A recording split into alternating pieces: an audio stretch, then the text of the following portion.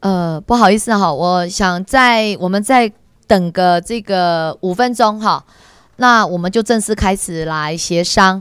那我呃，我们的程序是这样哈，征询各位委员还有呃，看有没有什么意见哈。就是第一个，我们先做文字的确认，好，叫上次的我们相关的协商，然后做一个文字的确认，然后有意见我们就再一次把它。呃，处理完好，那第二个呢？然后呢，确认之后，我就拜托各党团，你们就马上联署，就是不要再让我们再到你们党团，这样我就觉得没有效率了哈。如果说对于我们修正的文字，那第二大部分呢，我们就直接进入到第四十六条跟三十二条放生的部分的讨论。那放生这个部分呢，我有跟动保团体跟放生团体呢，大家我们也开过了几次的会哈。那所以呃，我想我把。呃，大家的意见哈，我等下用这个文字哈，几个包括版本，我等下印出来好，他们先一直在运在在做，然后我先把那个背景说明一下，好，那大家再来进入我们呃野保呃这个放生的那个逐条讨论。大概程序上是第一个先确定上次的会议结论，好，跟协商文字。那第二部分才是我们的放生的相关的继续的深入讨论哈。啊，那再过五分钟哈，那也让做一些作业哈。是哈，我们动保的部分哦，动物哦，不是野生的动物保护法这个部分是请党团各党团协商，是不是？呃，的协商代表能够直接签的，好吗？动物保护法是你们把它拉下来的，你们孔文吉给人家拉下来的啦。说因为野保不过，所以要拉下动物动保，那动保是虐动物要加重刑责，这个没有问题吧？那就大家签一签好吗？我们亲民党，哈？什么？虐动、虐待动物要加重刑。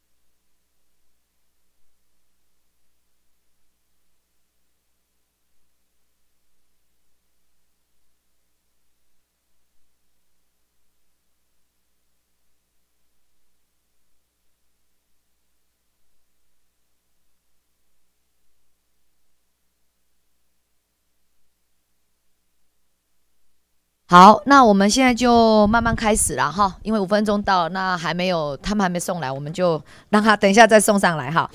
那是不是请我们直接进入到呃有争议的啦哈？是应该林务局哈，林务局呃局长这边针对第二十一条之一，他有意见，因为其他我觉得没什么没什么意见。二十一条哈，这个大本的哈的第二页。就是第二十一条，来，我们一起来看哈，就是二月二十四号最左边哈，我们二月二十号掌环协商第二十一条，其实就是呃呃，野生动物有下列情形之一，得予以猎捕或宰杀，不受第十七条之一项、第十八条一项、第十九条一项第一条，这个我就不念了，这限制不受下面这些限制。好，但保育类。野生动物除情况紧急外，应先报请主管机关处理。好，那哪些哪些状况呢？是得以呃这个捕呃猎捕或宰杀的？好，那这个呃呃呃就是这些这五项嘛哈。然后呢，重点是下这五款，然后最下面这一个。民众如果因最后一段哈，最后一项，民众因第一项的第二款知情是导致损害时，准用农业天然灾害救助办法予以救助，并由中央主管机关积极研议相关防治措施。好，那孔文孔文吉孔委员他昨天还给我打个电话，他说他很坚持。好。那林务局局长这边，他也有呃，他们也做了一些要来跟各位委员说明的部分。好，那是不是就是所谓第一项的第二款，就是危害农林作物家禽家畜或水产养殖者？好，如果损害的时候准用啊这个天然灾害的救助办法。好，来，那林务局局长，您认为来，您您说明一下吧。好，主席。呃，有关我们二月二十四号的那个协商的这个条文，在最后一项哈，我们建议，我们还是建议删除“准用农业天然救助办法予以救助”这个字眼，改哦修正为“民众因第一项第二款之情势致生损害时，主管机关应积极研议相关防治措施”。好，那呃这个部分我们有准备了四页的。的 PowerPoint 可否容许我们呃跟各位委员？那上上一次孔委员特别提到的这个猕猴危害这部分，事实上我们在从去年开始哦，也呃针对孔委员所关切的这部分，我们一直在进行研议哦。那我们从去年开始呢，呃推出了这个猕，特别是针对猕猴哦，其实也包含山猪在内，它危害农作物的示范计划，它的架设方式是用一个主机。就是叫电木器啊，右下角那个叫电木器，它通电接上了这个围篱，哈，围通电的这个围篱，那它的成本呢，大概是一公顷，哦，是六万块钱。下一页，那它的主机，上礼拜委员也关切到说啊，这个会不会对人对动物造成伤害？都不会，因为它是高电压，可是是低电流的脉冲，所以。动物即使是人去碰触它就刺刺的，但是动物会吓一跳啊，非常的有效。这个在日本或在纽西兰都应用的非常广。下一页。那我们去年开始推出的时候，是只针对一公顷以上的啊农园来进行补助，最高是四万。但是去年我们也在检讨，包含孔委员或很多委员关心说，哎，这个这个到底成效怎么样它？对农民到底实不实用？所以，我们去年。在去年底经过检讨之后，我们把补助的基准降低，只要是零点二公顷以上，这是为了照顾小农哈，零点二公顷以上就可以来申请，而且呢，面积缩小了，可是它的补助金额没变，都还是可以到四万，零点二公顷还是可以有四万元的补助。好，那而且呢，原本只补助那个电木器，现在连围网哈，连那个围网这个资材都纳入，所以是放宽，准准备从今年一百零六年开始就正式来实施。下一页，那大家也关切说这个成效怎么样？我们去年实际的案例哈，我举三个案例：新竹关西种柑橘的，好，那在使用这个围网之前跟使用之后，它的农损从原本五成降低到只有零点五成。那另外呢，古坑还有一个种田氏的，好、这个这个果园呢，过去是几乎是没有收成的，使用了这个之后，它完全都没有受损。那另外台东一样是种柑橘的呢，它也是一样可以达到哦这个降低到只剩下零点五帕的呃呃的这个这个农损哦，所以它是一个非常有效，所以我们上礼拜才会说，我们已经开始推出了这种积极防治的措施。它一样可以达到委员所关切的，说降低农民啊、因为这个动物造成的这个损害，所以我们恳请委员能够同意支持哦。我们是不是先从这个防治的这个方向来协助农民？好，那呃二方面呢，动物的危害跟天然灾害它性质上真的是不一样。你像台风或者是寒害，那个几乎是束手无策。但是野生动物造成的危害，事实上是可以透过一些措施去防防治的啊、所以它事实上在性质上也不适合来呃这个准用这个天然灾害的这个补助。以上就恳请委员能够支持，谢谢。各位委员发表一下对这个农委会的说法，以及我们上次审查会通过的的条文，有没有什么意见？来来，呃，好，郑天才郑委员，然后陈曼丽陈委员。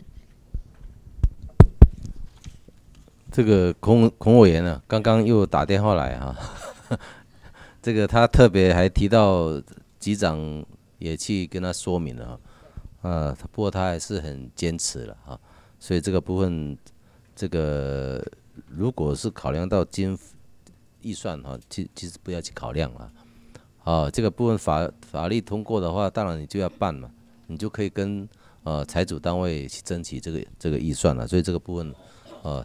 这个是不是林务局还是那个啊，照上次的条文来来通过哈、以上。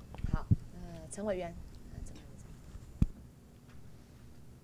好，谢谢哈。我想就是说，在那个呃经费的那个部分呢，当然就是说，如果是呃我们是把它扩大的话呢，我也是担心到经费啦。哦，就是说我知道农委会的经费好像也不太够哈。那如果是说把所有的这个呃那个呃。包括到野生动物，然后包括到肢节动物这样子，就是怕数量非常的庞大哈。那如果是说我们把它设定是在要跟那个天灾来做类比的话，我觉得好像有点不太一样哦。因为如果是天灾的话呢，它可能是短时间发生，但是呢，如果是这个呃有关于这个动物的的呃伤害的部分呢，我是比较担心它的那个频率会比较高一点哈。然后那个如果是说我们现在呃像刚刚已经有讲到是说有一些的防治的方法，那这样的防治方法的话，如果是说是呃有它的一个绩效的话，我想应该也是可以被接受了哈。那另外就是说那个呃有关于我们现在如果是天灾的话，可能是短期，然后它可能只有。呃，一年可能一次或两次这样子，但是如果是说是，呃，我们现在说要扩大的话，不是天灾，然后那个部分的话，我认为它这个很难认定，而且就是说我们现在呃，希望我们的农民也可以做一些的防范的工作。那如果说我们都一直用补贴的话，就是怕。就是怕那个农民他们在这个部分，他就不会再努力的去做这样子的一个防范了。所以我想说，在这个部分也希望就是说，把这个野生动物的农损这个部分，通通都要把它纳入到赔偿的话，呃，我是比较担心我们到底国家有没有这么大的一个资源哈，呃，经费来做这样的一个补贴的工作。所以我想说，在这个部分也提出我的一个看法，谢谢。好，那其他委员有没有？我个人意见呢，哈，还没有说主席的意见哈。我个人的意见哈，我还是支持呃孔委员的我们协商的版本。为什么？如果说你的救治有方有有效，你刚才讲的那些真的有效，那你根本你会真的实质上支出的费用就会少，不会说真的是一个天天文数字，基本上是少，除非你的防治方法。不落实，好，以及不普遍，好，所以是我觉得重点是我们站在农保护农民，因为真的农民种种这些水种，他们是在做工作跟耕种，真的很辛苦。工作可能是呃一一年看能不能有两个月、三个月是可以让他赚钱，然后就维持一整年。所以他的农务的灾损，我是觉得过去来讲都不积极啦，非常不积极。好，所以说今天只是叫逼你们是把这个防治方法弄出来，那只要有效，基本上是不会有有有会有会说有多大的支出，因为你有效了，怎么会怎么会让我农民会受到损害呢？这个逻辑是应该是要这样子才对啊。所以还是一样啊，这个那你说准用天然灾害救助办法，我是准用啊，对不对？难道我还要再用一个什么啊野生动物因野生动物呃是呃的这个？呃，灾害救助办法吗？我们也可以这样要求你们了。那那你们会更复杂，你们会更复杂。那我们的要求会更多。好，所以用准用天用灾来灾害这个事情，就是现有的办法。好，那你有什么农损，那我们就在那里面去去去准用，然后该是哦多少公顷补助多少，或是多少的，就你们现有的标准基准去做补偿就对了。所以说会有造成天价。好，就是说哦，这可能频率太多，或者是说，呃，因为这个没有办法，这这个逻辑，我觉得林务局的说法的担忧是不需要的，因为已经有效了。如果你的房子法有效，就根本不会有任何的这种支出会减少的，逻辑上应该是这样。好啊，所以我个人还我个人呐，好，当然各位委员。包括各位党团拜拜，你们也提提有意见，好，因为我是站在农民的立场，因为我们看太多了，根本补不完，你的补助根本都补不到人家的六成、七成，甚至五成，我们的天然灾害根本补不满呢，我们这是很卑微哎，我如果疑似我来自高雄县，原来的高雄县那种农民真的是很可怜的，好好不好意思呢，各个各个委员你们表达一下意见。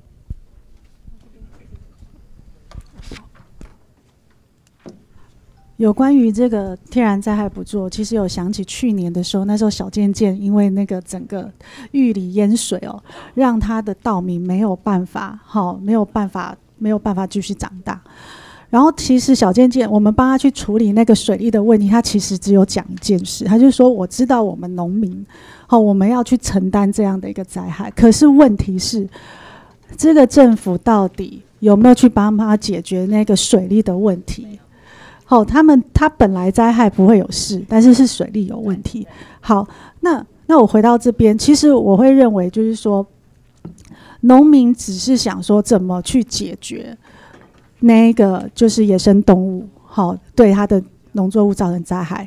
那很显然过去就是做不好，你们能够提出一个很好的方式去解决吗？可是现在有一个问题，我希望你们能够清楚的回应，就是说，因为刚刚。陈曼丽委员有提到，就是认定的问题，到底他准用之后，他的认定的范围要怎么样界定清楚？就是说，因为我们天然灾会以一个时间点，然后公布说现在开始收减。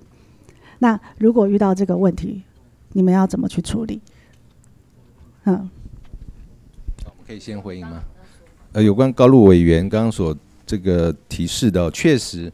在我刚刚都还没有讲到实物层面，它不像一般的天然灾害，它它是可能就是大家都知道，它会是很区域性，某个地方发生一次啊，这边那边发生一次，那哦那边又发生一次，那是不是真的有发生？这个其实没有人知道。那第二个，它的那个灾害的规模，其实在实物上也很难哦去去去量化它，所以你在实际去。要去计算说它的损害的时候是非常困难，这很容易发生争议，很可能农民申请最后还是领不到，所以他在他在实物上，这也是我们另外认为说自然难行。那至于刚刚呃呃郑委员转述孔委员他他的这个担忧是说，诶，那是希望说每每年都可以补助，但是我们要强调这个设施，我们刚刚已经讲了，不管是在国外本来就有很多实际呃可行的案例。国内都有，所以这个设施设下去，它就是可以不要说一劳永逸，至少可以是蛮长时间。但是如果只是用消极性的补贴的话，变成每年我们都在付出这些补贴的费用。我想农民就像主席刚刚讲，农民其实种农作不是希望要要求补贴，他是希望减少损害。所以我们去推广这个设施，它事实上可以达到农民减少损害这个目的。好，那主席。不是，那再再讲，就是说，主席刚刚提到说，哎，这两者可以并行，但是我们认为这两者是互斥的。假如说，哎，这个灾灾损可以就每年这样申请，不会有一个农民不会有动力说要来申请这个这个这个防治，所以我们还是恳请各位委员，我们是不是我们刚刚讲了，过去大家觉得说我们做的不好，但是呢，我们从去年开始已经非常积极的，不然今年也不会推出去降低补助的基准，我我今年也不会这样子开始去做。所以我们一直在精进我们的作为，是不是可以让我们先推广一段时间？那大家看成效。如果我们真的还是做的不好，那我们愿意就是进入到大家所建议的这个方向，好吗？但是我们觉得我们可以。哎我修一个法哈，只是一个文字，只是一个字，称是修一个法，要一个改变个德啊或因啊，哦，那个我们所动用的立法资源哈之多，联署，然后排到呃那个程序委员会，然后进到院会，然后一读，然后二读，还要拜托招委，然后有异议，然后写那样的行立法程序的成本是之高啦，好，所以我认为是。所以我觉得我我们审查会的版本，除再加上后面必由中央主管机关积极研议相关防治，这就是有法律的行政，不会任何人不会因为政党的更迭，不会因为长官的呃这个呃呃调升哈调任会有任何的变动。那也因为有这样子，你们才会每年会去编预算，或者是精进你的你的设施的这个相关的技术，这就是法律的。的用，这就是为了解决我农民，为为了让行政单位积极的辅导农民的一个最有效的法律作为嘛。所以我认为还是一定，我个人认为是一定要用文字来来法律文字，因为我没有办法，不可能。大家在这边立委，这边大家都都也都很清楚，我们的立法那个成本太高了，时间成本、人力成本都太高了，所以我还很坚持。好，那准用农嗯。农业天然灾害，那你们认为这个办法复次，要么你就是去去修正这个办法嘛？那是你们行政可以作为啊。你如果认为说哦这个有复次，那你看是要用准用，我可以改嘛？好，那你们再去再去修啊，准用农业天然暨野生动物灾害救助办法嘛？那你们再去把里面再再多出一张，针对因应配套我野生动物法通过之后的要求啊。或者你认为复次性真的太高了，你们再另外好，你们再另外再再再用一个什么啊野生动物灾害救助办法。好，那你如果办法一定出来了，好，那我觉得办法出来，你觉得需要配合我们的法来来修，我觉得那时候我们再来修才更有动力，而且朝野都有共识。我觉得应该是要这样子，所以我觉得哈，看看各位委员啦，我我在这边做具体建议啦。好，那各个委员看维持原条文，好，就是我们审查会的条文，好，呃，或者好，你们还有什么样的文字修正？但是意旨上，我就是要逼迫我们的行政单位，而且是固永续性的，好，永续性的去真的对于防治的措施，真的能来来来协助我农民。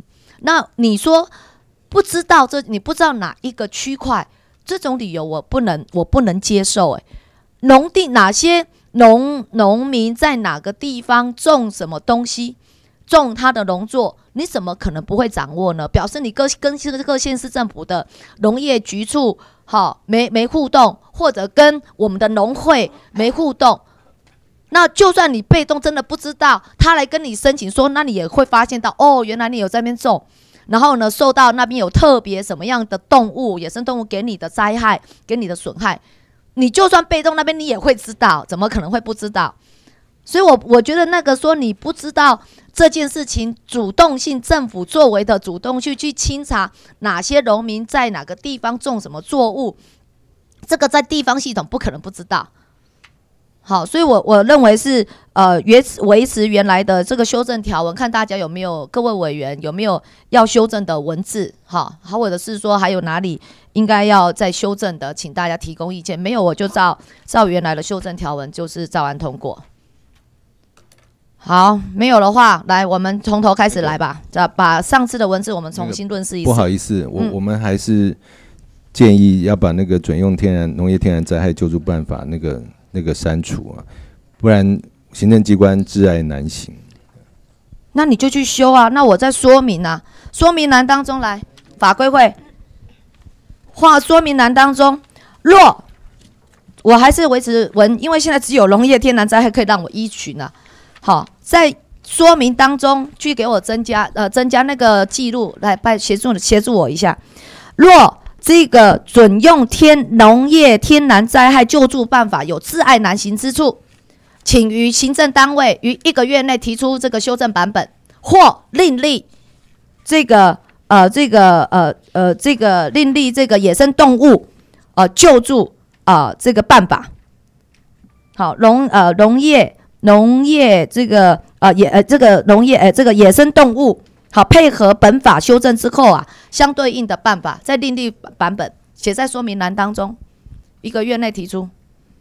好，OK，没有没有意见，把那个文字弄出来，然后大家再等一下论事的时候念给大家。那个不好意思，主席，我我可不可以就是你讲的这个这个救助办法，是不是改成防治办法？我们还是要强调，我们希望政府的经费是用在防治，而不只是。但是你那个农业天然灾害救助办法是你们的现有的条文的名称啊，我没有意见啊。你们如果要要修正，你们认为这个法之后，这个是你们自己的本身现在办法的所以我们建议。把那个拿掉啊，就是主管机关应积极研议相关的防治。不要啊！你们要不你告诉我你什么？你的你救助办法很清楚啊！你们现在救助办法拿出来，拿出来那个故那个拿出来看啊，里面有因为你的受损的面积还是有一些呃补助的因素嘛，然后我才多少钱嘛，才补助哦、呃有因为你受损的量还是面积，那个是你现有规定啊。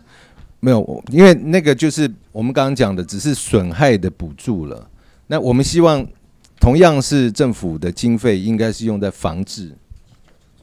那你可以去修啊，所以所以说你认为准用农业天然灾害救助办法这个词办法，这是你们现有的办法。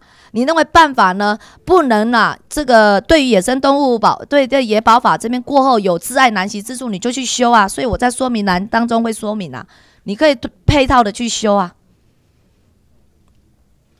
好，来，我们来重新看第十九条，我们是请请这个那个你们来来呃，让各位委员来呃这个确认一下。好，哎，所以宣读宣读，让看大各个委员有没有什么意见？都看了，没有意见吗？好，好，那我就直接审查会第十九条有没有意见？没有，好，照案通过。那第二十一条，来，法规会没有意见，然后在说明栏当中写一下吧。说明栏我刚才的文字。我我还是要强调就是这个农委会对于这个防治要真的要做，因为其实以实务上的经验来看，就是说我们我们对于农民是对于这个民间不信任，而且他们也不会申请猎捕，还有就是他们觉得现在会灾害，就是危害到我们农地的都是保育类。我跟你讲，实际上他们对对这些野生动物下毒的状况还比较多。那我我我这里是希望就是说今天。我们有所调整，但是积极的作为应该就是说，一定是从防治这里做起。好，所以后面我们审查会上次二月二十号的审查会还加了这句话，原孔文基的条文还没有这句话，我们还加上这句话，并由中央主管机关积极研议相关防那治措施。现在这个调整是说，这个天然灾害救助办法，然后或是用这个野生动物的这个没有，我们没有野生动物的。照文字原本，然后再说明，就是说明就是说有关于这个野生动物的危害。如果他觉得自爱难行，嗯，那他就要去自己修改这个农业农业天然灾害救助办法里面，他就要去增加。增加了这个野生动物，对对然后它它如是以定义范围，在什么情况下、什么时间点，嗯，好，到底他如果认为自爱难行，他自己就会去修。对，我不管他，我们就是这样坚持就对了，他才会去处理。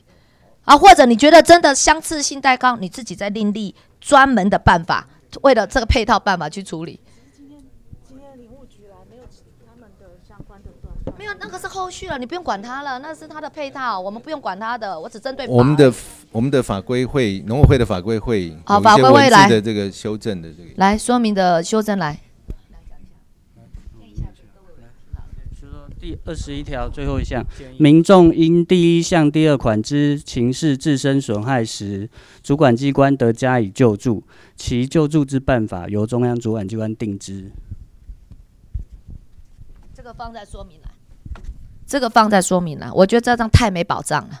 哦，因为你要新的办法，那那个我觉得我已经呃准用过了。那如果有相关的，我跟你我对你们，连我当十五六年的立委，我都对你们没有信任。好，这不是针对局长你哦，你也刚上上来而已哦。好，是整个你必须承担过去为什么我的行政单位不积极的提出防治措施，我根本不信任。我讲白了，我对保护我农民我根本不信任。那不好意思，局长你刚上任你就得承受。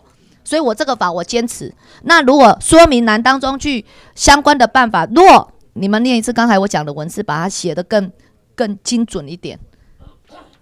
来，处长可以念一下吗？给所有委员听一下。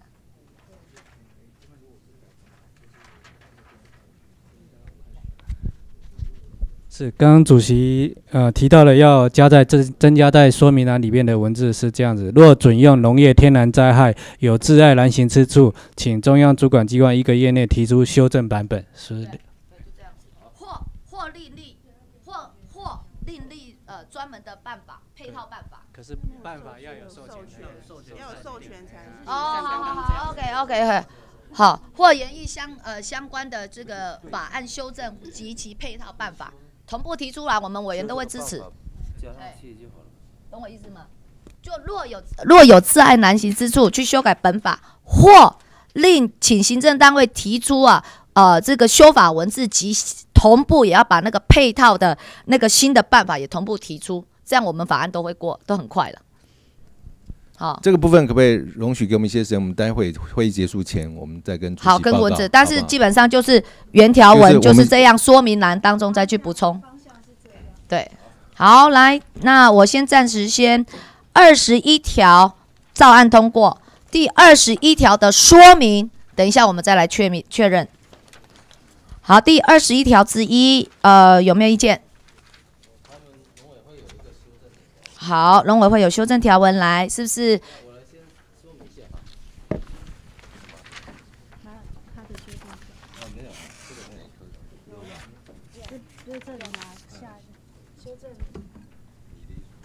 二十一条之二十一条之一了，这边少了之一哦。你们我们现在看二十一条之一哦，二十一条就照审查会通过。二十一条之一。这里写他，他看的是中文，没错没错。各位委员，上面这个大本的各位委员，你们手头上这个大本的第三页，是是不好意思，第二页。我我先讲好了哈，这个虽然农委会有另外的修正的条文哈，二十一条之一的第三项啊，就是红色的这个地方，呃，第三项啊，这个部分事实上部落要。就实际狩猎的结果呈报中央主管机关哈，其实这个就定在那个第二项的办法就可以了。事实上，因为现行的哈，现行的现行农委会在一百零一年所定的这个呃管理办法，管理办法的第十一条就有规定，要把这个狩猎。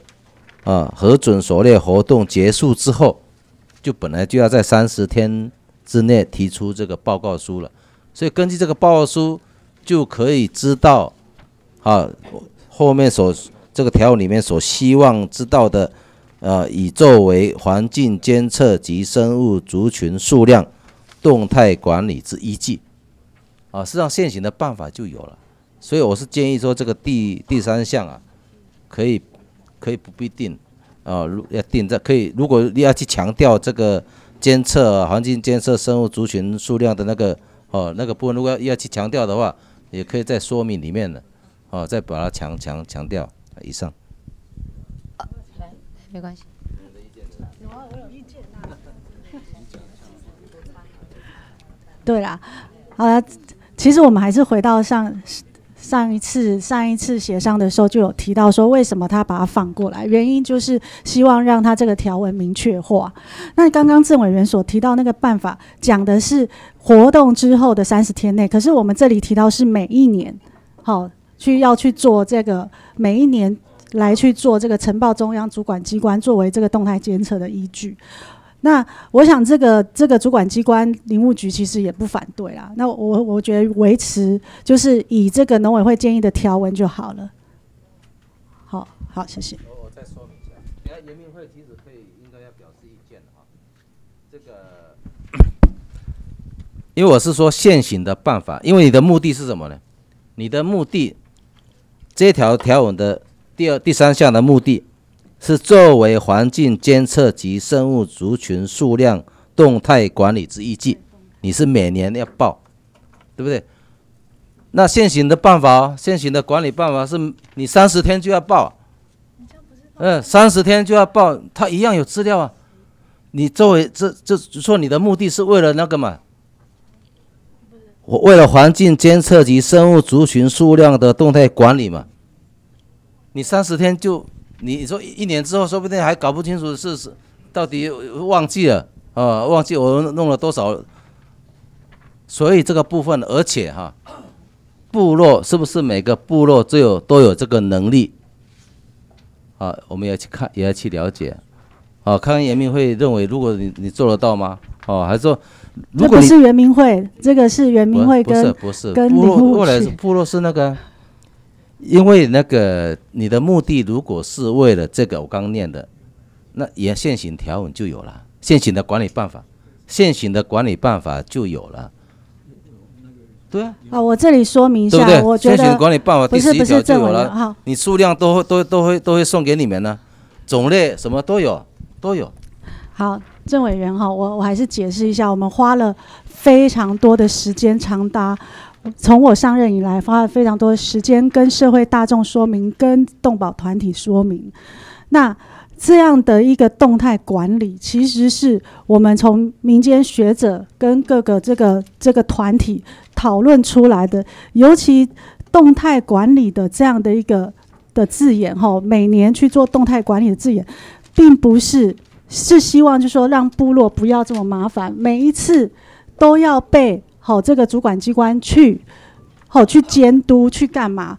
我们希望是回到部落自主管理的这样的一个模式，而且也不会就是说，到时候这个林务局或者什么的要要去算森林有几只，而是是以这个动态一年来看这个生态能不能继续维持。再来就是自主管理，主要的目的是以年为单位，然后事后报备制，不是事前申请三十天，不是这样用的。没有没有没有没有，但是我的意思是说，我们是要明确化。今天你觉得放在说明栏没有问题，那放在那是不是放在我二十一条之一的条文也不会有问题？表达一下好不好？来。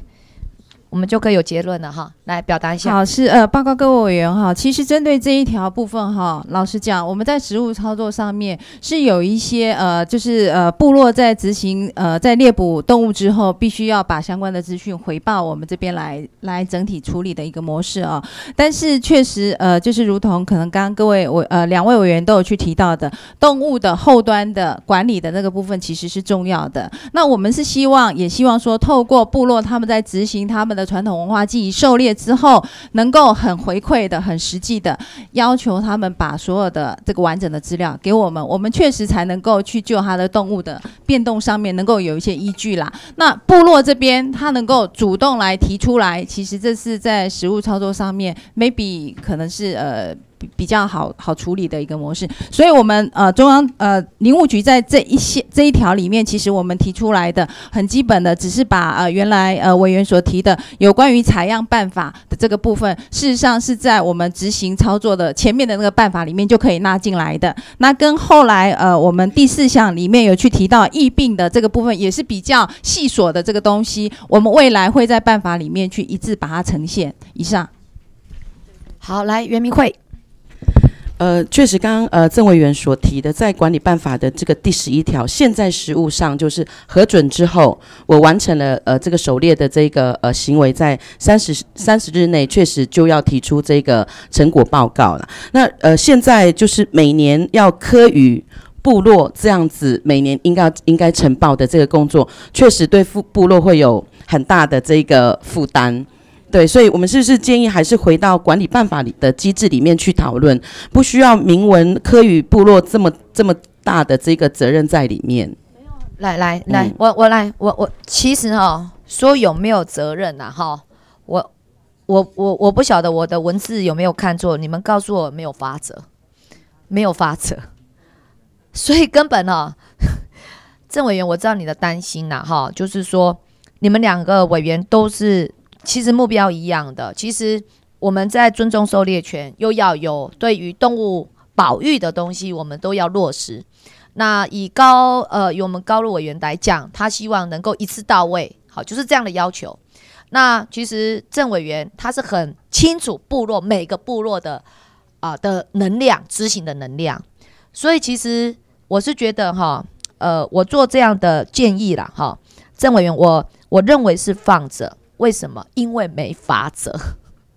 我讲坦白，所以这个其实就是说，我们如果真的要强制性，对我部落来讲会有影响，因为有些部落他的可能对这个的认知以及他的操作的呃呃纯熟度或专业度上，可能没有办法一次到位。这个您是站在民意的立场，你确实是是可以看到这样的问题。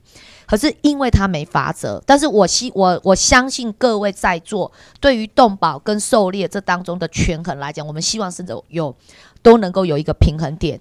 所以我我是觉得没有法则的情况之下，虽然写因，那就是说他们就要积极去辅导每一个部落啦。好，如果今天是有法则，我倒真的会站在你的立场，也许我们真的要考量一下。嘿，那不知道郑委员你能不能呃这样的来嘿跟我们大家讨论一下？还是有法则，我没有注意到。那个事实上啊，第二项啊，第二项已经很明确了哈，应依尊重原住民族文化部落自主管理之原则定之嘛。事实上，我是从立法技术了。其实从我是从立法技术来看的话，是变成这个第二项啊，呃，第三项是多余的。从立法技术来看，第三项是多余的，因为第二项我们已经不是原来的第二项了，已经加了部落这个部分已经多多加了啊，所以如果这个很坚持的话，我也没有意见了。这但是从立法技术来来来看是这样啊，那这样了哈，我就直接因为这些资料它都可以，它都本来就有了。按照现行管理办法，它的那个什么，它三十天之内啊，就要送猎捕动物的种类数量。现行的管理办法，猎捕期间抵区域，啊，所以这个部分都有，不是没有，啊，所以他你说你我我是说，如果你的目的了，你的目的如果是为了监测啊跟族群数量的那个动态管理，目的现行管理办法就有了，哦哦，我们我不坚持了，我也不坚持。OK，好，来，陈曼丽陈委员，好，我想我想那个主席这真的是呃有时间的压力了哈。那我想是说，其实我们在这个部分的话，就是说。呃，我不太知道，就是说，在我们的主管单位哈，是不是有普查过那个呃，就是动物的族群数量哈？那如果族群数量比较多的话，当然是可以狩猎。那如果说没有掌握的话，现在我们写的是说，呃，就等于说部落它实际的去猎狩猎的结果哈，等于说我我如果可能有负三十头，那我可能就在负三十头，所以这样子的话，我们可能就是要再去减啊，这样子就可以有个动态管理。可是我现在比较担心的就是说，我们如果是说这个数字并不是那么样的完整的掌握的话，会不会就是说啊，我们减今天今年减三十头，明年减三十头，结果后来我们就发现我们的那个都没有一个限制的一个最最。最低我们要设的一个保育的目标，如果说我们的限制保育的目标是五百的话，哈，如果是五百，那你现在已经减到了四九九，那你就说，哎，这不行了，不行，再再再继续的。呃，就是猎捕了哈，所以我在这个部分我是有我的担心了哈，所以我想是说，当然是我们如果能够统计到呃这个这一类的族群的一个数量的话，那这样子我们当然还可以一直减一直减哈。那如果是没有的话，那可能就是说需要这个呃部落呃，当然是说有一些的呃规范。然后能够这个狩猎的情形呢，也希望部落彼此之间能够能够呃遵守了，要不然的话，我觉得部落如果说它的呃能量不是很大的话，那我们台湾现在已经有这么多这么多的部落，那这个的总量的话，就变成是说要到主管单位来做一个统计哦。好，所以我这个比较担心是这个部分。所以我想呢，哈，还是维持这样的审查条文，好，会对呃我们狩猎权，包括我们希望我们的部落的呃的这个同的乡亲，他能够真的实质在狩猎过程中直接的回馈给我们啊、有关单位，好，在这相关的数数据，包括物种，包括陈委员刚才讲的这些物种的增减，哈，所以我想这个条文我就谢谢郑委员了，哈，您的您的支持，那我们就维持这个条文。哦，好，来来来，动态好，那呃就是第三项的部分哈，我念一下那个文字的修正的部分哈。部落每年应就实际狩猎结果呈报中央主管机关，以为野生动物动态族群监测及管理之依据。第四项。第一项猎捕、宰杀或利用野生动物之行为，主管机关得协同部落进行野生动物族群监测。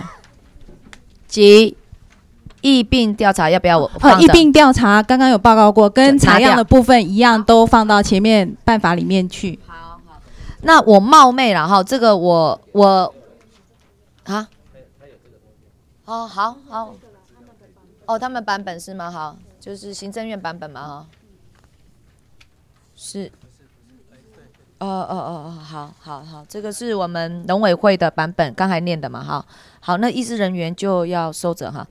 好，我冒昧问一下哈，第二项第二十一条之一，这我要真的是征询我们各位委员的意见哈。因为我们上次是前项的猎猎捕、宰杀或利用野生动物之行为，应经主管机关核准或备查，其申请程序等等等等等等，到最后哈呃怎么这遵循之办法，由部落协同中央主管机关会同中央原住民定之。我个人的问号是由呃是应该是由中央主管机关会同中央原民会主管机关。协同部落，好，就是说主动权是谁这件事情我不太清楚。就是说，如果按照第二项这个文字的主动权哦，是是部落他要自己去，你针对这个办法的初稿，他要主动的去会同主管机关跟中央原民会哦。啊啊，所以中央主管机关跟中央是是被动的被协同者哦。这个怪怪的哦，所以你把所有部落自主应该是是没有问，是是一定要，但是变成是他逾越，他变成主管机关的话，那主管机关拎得都没做代级啊，所以是部一定要协同部落，这是一定要，只是谁是主动权的发起者，应该是由中央主管机关会同中央原民会好主管机关协同部落。定资吧，哦，我我不晓得这个，我不晓得在部落自主上这当中，我我要坦诚我是外行，所以我我原民会跟主管机关还有各个委员，第二十一条之一的第二项，呃，这个是因为原民会要一起做，所以原本对是部落先去定，然后把它呈报上去。那时候在协调协商的时候，是他没有说没有问题啊，就是说对对对你主管机关要有责任啊，他要去协同他，那你也可以主管机关就说你你原你部落提出你的版本，这只是程序做。是部落要你这个自主管理，但是呢，可能不太呃好，我知道你的意思，那我再增加好了哈。我认为由应该要主管机关做主，或者你们要监督谁？我们立委要监督谁？所以说由中央主管机关会同中央主管呃定呃呃协同部落定之其初步啊、呃、其初稿，好看你要怎么讲了哈。其初稿哈必须由呃这个部落哈主动提出。好，其拟定办法好的初稿，你们看他怎么写比较顺啊？我知道你们的意思，就是说那个版本是要部落自己主动提出，对，而且是是我们讨论的依据，对不对？啊，所以你应该是把这个的这是作为，这实质的作为跟你要主管机关的权责，这不能搞混。主管机关绝对要要主动的跟各个部位，但他们可以先不用版本，版本是要我部这个部落提出，所以我在增加这个文字，就是说把协同部落写在后面，再加上一句话，好，其初步的啊、请，而且呢由这个呃这这个什么协商呃这个办法的呃的。基呃由部落提主动提出啊、这个什么嗯这个办法的这个呃呃的初稿为其依据啦。呃稍微我我我这样稍微解释一下，就是说，其实，在前面已经有主管机关核准或备查，就是说，你今天你提出来的这个呃这个这个自主的这个方式哈，然后呢，他会送到主管我机关我跟 我没有意见啊，你不要把主管机关该有的责任拿掉了，这个这个是不能开玩笑的。这个我我我绝对支持部落一定要，他们不可以有版本，你一定要有部落版本。你怎么变成是部落在于院里全责你的主管机关？那你主管机关在这上面回，那伊要的叫部落弄来弄来弄来弄来咨询啊，这个是，但是百分百一定要以我部落的名义为名义，这我支持。所以那些文字被安拉下，才能够主管机关的发动权是谁，跟部落要提供的那个意见，好的依据，那个袁明慧来建议一下好吗？我我表达一下意见好不好？我来先说明哈，这个二十一条之一的第二项哈，确实谢谢谢有这个赵林主席哈能够提出来哈，这个其实是从立法技术来看啊，现在是要定法规命令的，是要定法规命令，法规命令在当然就是这个中央主管机关会同中央原住民族主管机关来定。至于在定的时候，在定的时候，怎么样能够尊重，能够依据部落的意见啊？怎么样去依据部落的意见，能够把它定在办法里面呢？所以这个条文，当然这个是不是要部落怎么加上去哈、怎么加上去？这个我啊这个想，呃，来袁明慧表达一下意见吧。我我没有，我不会坚持，只是我就我理解的文字的主动权跟那个是有，我觉得是有矛盾的。对，呃，第二项其实是在呃讲要定一个办法哈。那办法呃本来呃就是应该由中央主管机关会同原住民族主管定之。那港陆委员提的可能是在办法里面每一个部落自主每年年度的这个狩猎的这个计划，那个是自主自主管理的那一块，那就是尊重部落，完全尊重部落的这个部分。嘿，我我我们的这个意见是这样。好，OK，那我是不是我这个让他们来写一下文字，再让大家确认一下？如果这个方向由主管机关，好、那跟会同中央委员会协同部落，然后逗点再加一句话，好，这句话看怎么写，让部落主动提出他的这个。呃，针针对这些他的呃，我们刚才讲的程序啦，什么申请程序啦，部落这个些，好，提出他们的版本，这样好不好？那文字上最这一段哈，二十一条之一的第二项，我先暂时文字先来，你有文字了吗？好，来来，太好了，太好了，哇，真是厉害，不会，那个不是，那这边提供一个文字给大家做个参考。确实，这个地方后半段是定定所谓的法规命令的一个的一个依据，所以应该是由行政机关来定会比较妥当哈。所以由了这个地方开始啊，由了这个地方开始，那个部落协同的文字先拿掉哈，由中央主管机关会同中央原住民族民族主管机关定之。部落呃定定过程哦，定定过程应尊重部落意见。并应依循原住民原住民族文化部落自主管理之原则定之。不是不是，我我我我觉得他的那个办法不是原本的意思是那个办法并非是我们说的这个行政命令的那个办法，而是部落自己定的规约跟规章。对对对，授权授权定办法，对对对，不是那个办法。没有，你这个文字就这样，你高度你看一下，其申请程序猎捕方式、捕猎动物之种类、对，其余其你的文如果照你这样写的之办法由部落协同，所以部落协同部落是要定上面这些事情的，文字上是这样的。对，我所以这那就是把这个办法改掉，因为我我我这里我这里的意思是，这个要自主管理，因为我们现在已经有八个八个部落已经在做自主管理了，因此他要去定好、它的里面的相关的一个规范。可是呢，你你今天变成就是说，如果主管机关定了一个办法，然后去规定所有部落的自主的方式，那样会有问题。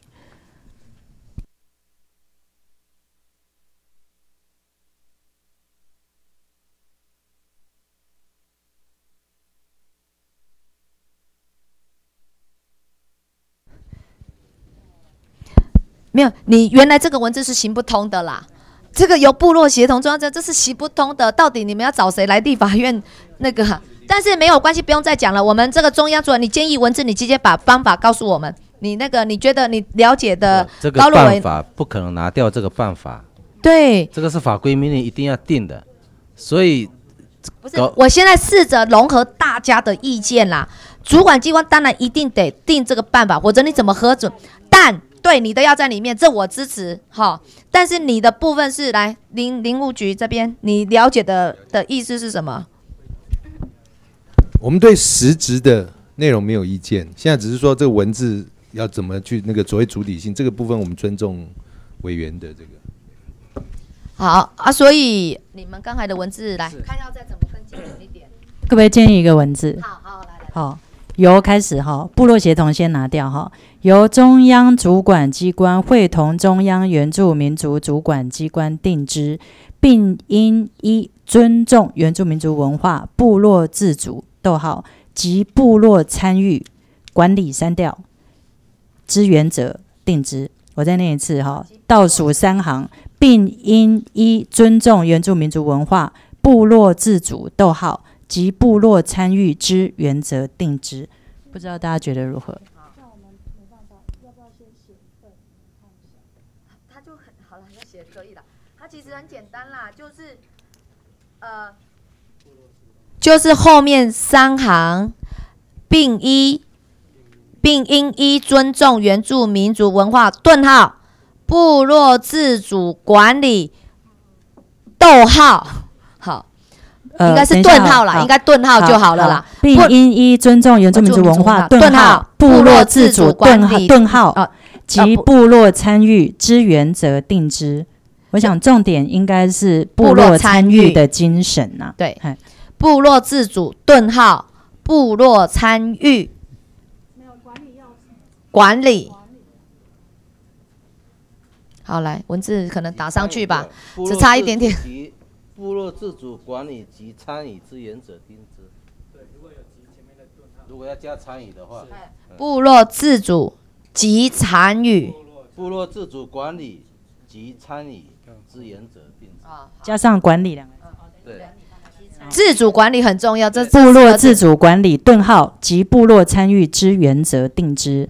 那我们可以在订定法律或修正的理由里面特别说明，说是部落也可以自主协商一些相关的内容嘛？这个在理由的地方可以讲，那内文大概是这样。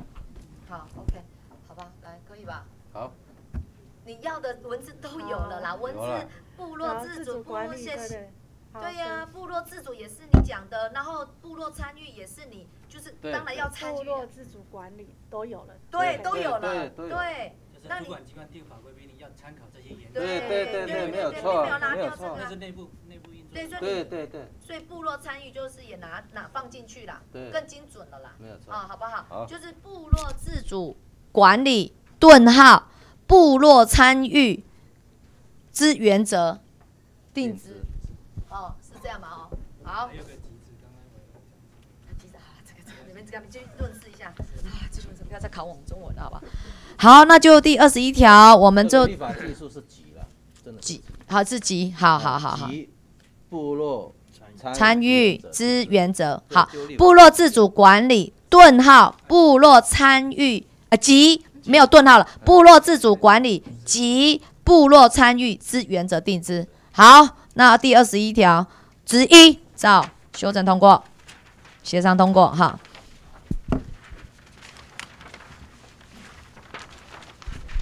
好，第三十二条跟第四十六条是联动的，哈，放生，所以我们先保留哈。那我来第直接看到第九页第五十一条之一，有没有意见？有好，来，来我们呃，是呃，各位委员，第五十一条之一哈，呃，在这边呢，因为它是跟二十一条之一其实是联动的，所以呃，前面的文字的部分，我们是不是就是跟着二十一条之一的文字怎么动，我们五十一条之一的呃前面的文字就跟着动，这是第一个。好，那可能等一下我再念一下。那第二个部分呢，是呃这个呃罚款，除呃原来的呃。Glass 委员的提案是新台币一千元以上一万元以下。那这个部分呢，因为我们在整个行政操作上面呢，我们呃认为说，呃，他呃在一般类跟保育类，如果在目前呢，我们不去提它的时候呢，在它的责难程度上面有不一样，所以我们。希望在罚则的部分是从一千元到十万元以内，那这是一个行政裁量的一个呃这个范围。那在这个范围里面怎么做裁量呢？后续我们会依照可能他犯行的是不是累犯，那他的这个数量，还有呃其他相关的原因去做考量，所以它有一个行政裁量的。这个范围空间哈，这是第二个部分。那第三个部分呢？因为这个法其实是从九十三年就已经啊执行到现在，已经经过十多年了，所以在这个呃首次不罚的这个部分呢，我们也建议把它拿掉。来，各位委员，各位委员表达一下意见。我先讲一下哈，这个首先我前面两项我同意哈，就是二十一条之一的条文怎么写，我们联动五十一条之一。然后这个呃也修正，那针对首次违反者不罚，农这个农委呃这个林务局建议拿掉，我同意，因为的确在管理上啊，我们其实很难确定说他到底是不是首次。好，那这个部分我也愿意。这个妥协接受林务局的说法，不过关于罚则的部分，哈，我需要林务局更清楚的说明。基本上，我还是坚持要一千元到一万元，因为我的立场还是一样，就是五十一条之一。首先，我们看到它的内文，这一条的原住民已经先受到二十一条之一的规范。也就是会在这里进行狩猎的人，已经被二十一条之一限制，只能在某些时间限制某一些猎物，他已经先受到限制了。如果只是因为他没有申请，哦，他没有申请一个行政的程序没有做，却要受到重罚，那我个人认为是，我觉得有一点过于不及。中间的尺度无法拿捏，那当然原本的是更是离谱了哈。原本的是没有申请就要去坐牢的，这个是更离谱。当然我们已经在上一次修正通过，所以关于一千元到一万元的罚款，我个人认为合理。而且实际上又为什么要提升到十万元呢？就说到底行政机关的原因到底是什么，也总要可以说服我们。我我先那个有关这个部分哈。首次违反者不罚，我认为还是要，因为原来的条文跟现在的条文不一样了。啊，我们这个第二十一条之一的小相关的这些规定，事实上已经不同了。啊，所以说啊，这个因因为已经很久，这个这个呃野保法二十一条之一已经很久了，所以就不用了。其实是不同了。啊，因为我们现在加了不同的规定。那还有很多的先导，事实上先导是不足的，啊，先导是不足的，所以我是建议这个，呃，我是认为，呃，首次违反者不罚，这个还是要留着哈，这是第一个。第二个就是说，这个有关罚罚这个额度的部分呢，我是呃认为还是按照原来的那个额度以上。另外有一个补充，我刚刚忘了说哈，这个是我们当时的条文自己遗漏的哈，就是呃，应该不能说遗漏，应该说多写啦。他不是说原住民族违反第二十一条之一如何如何哈，但那个族其实是应该拿掉了哈，因为原住民族指的是集体，原住民是个人，好，这个是当时我们在立法的时候误误误植的，谢谢。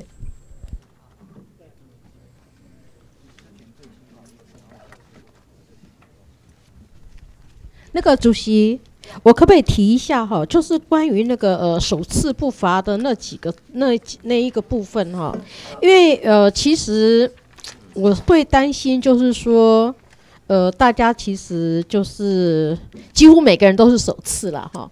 那我觉得这个部分的话，可能在提出来的时候，会让呃一些人会呃比较担心，因为呢，就是说，呃，一个是属于人头的部分哈，还有就是说，你其实你第一次抓到他之前，说不定他已经他已经做过了 n 次了哈。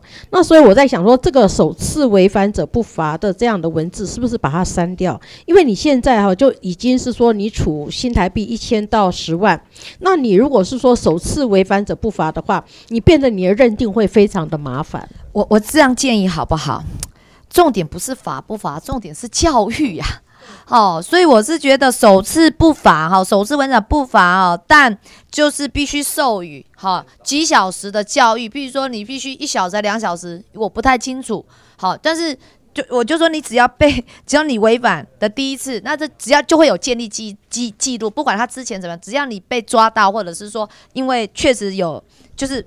有记录，那你就知道他会不会有累犯嘛？好，主席，我也想确认一下，就我们有没有法律是说首次不罚的这样子？有啊，有啊，原来的就是这样，这都没有关系。其实法是最低层次，反而是我们的理念共识啊，或者还有没有什么政策白纸黑字之后才是法律预算。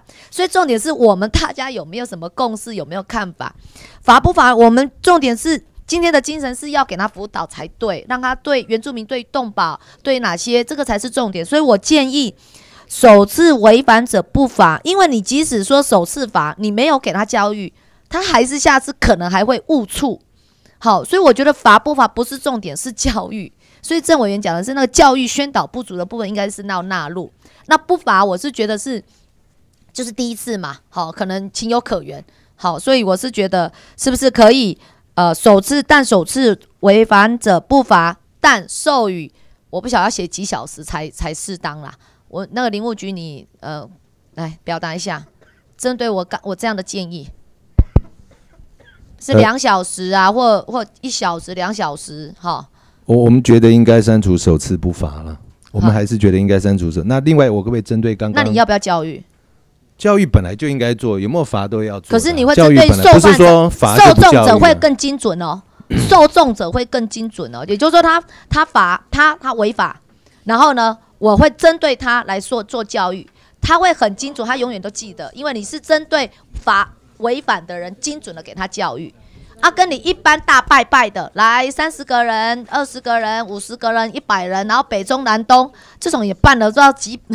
这叫做宣导吗？重点是精准，哈。我我们觉得这两者并重，但是教育不能取代处罚啦，处罚还是有必要的，就是不然就大家通通都是用教育的，我们也不要有任何的这个，对，首次而已呢。我我那我说明一下哈。我们刚刚讲，刚刚因为委员有提到说这个上限十万，我们我们同意上一次委员上一次审查会呃协调会的时候，委员的建议就是我们不要去分一般类或保育类。可是为什么我们认为说它的上限应该到十万块？大家只注意到十万块，但是它的下限还是一千块。那为什么是十万块？刚刚这个高路委员有呃，刚刚委员有提到说，呃，会进到这的事实上是。他不遵守前面二十一条之一的那些，那我们现在在二十一条那边已经放宽了，比如说自用哦，非生活的非这个生活的自用明确化。第二个，他也可以从部落自主的。如果还有不遵从这些，他才会不遵从这些规，他才会进到这。那如果这里头有一些比较恶性的，比如说他是几累犯非常多次的累犯，或者是。显然他打了过多的数量，或者是说他刻意的去猎捕一些稀有动物，这种应该要给他比较高的这个罚则，因为这个应该说是全民公。来，我做一个融合，大家看看哈。但首次违反者哈，呃，等等一下，第一个数目我没有意见，各位委员决定。好，一千元以上至一万元或十万元以下或几万元以下。各位委员，你们决定说了就算，大家有共识。第二个，首次违反者不罚，但授予这个三小时，我不知道几小时才适当。若不到者，则予以罚，则予以予罚源，就这样，这才是重点嘛。你不来受教育你就罚，但是你你来受教育我就不罚，这样才是对的吧？我不知道这样的建议方向可不可以？如果可以，我就请法规会这边把文字写出来。好，那文字那个让各个委员表达了，那个呃罚源的部分大家表达一下。你们如果认为大家一千元到一万元以下，那我就这样才是了。对，来那个我个人当然是支持维持啦。另外就是刚才那个主席讲的，我想你的意思应该是说宣导了哈，应该是说这个宣导跟法律常识的宣导，因为其实大家是不知道要宣那个要这个事前的申请嘛，应该是这样。因为如果讲教育的话哈，可能有一些猎人会不见得会这个觉得说是对对，我只是词语上我完全理解主席的意思，还宣导很好很好很好，非常。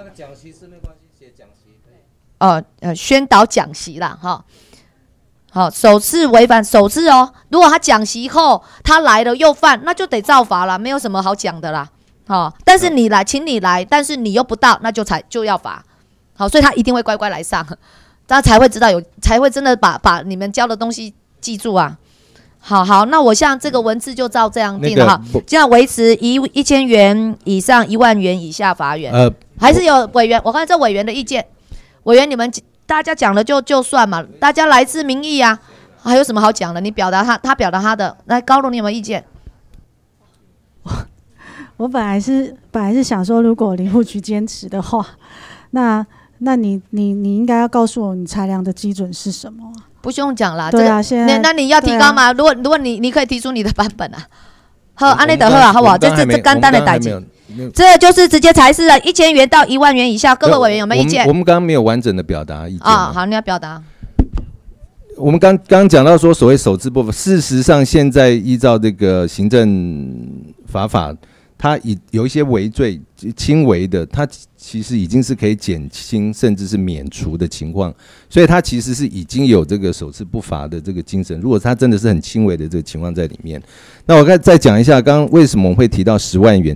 现在依据保育法的第四十一条，非原住民就是一般的民众，他如果去猎捕到保育类野生动物，他除了会面临到所谓的刑刑责之外，他还会被处以二十万以上一百万元以下的罚金。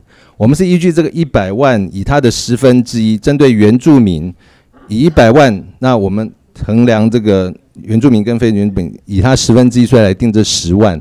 那实际上未来会真正会科以十万，那个绝对是非常极端的案例。他可能是我刚刚讲，他可能是很大量，而且是屡犯或者什么这样的人，其实应该是全民公敌，因为他。他松动了我们大家对于原住民去狩猎的这个这个信任，这种人应该是，但是我刚刚强调，绝大部分不是有没有案例？没有案例就不要乱说了。不是不是，那我刚刚讲了哈，十万元，十万元的定定是针对于，呃，就是非原住民，他是最高是一百万，那我们以他的十分之一来计算，那我们也会我们也会针对在说明栏里面哈，我们会针对他的。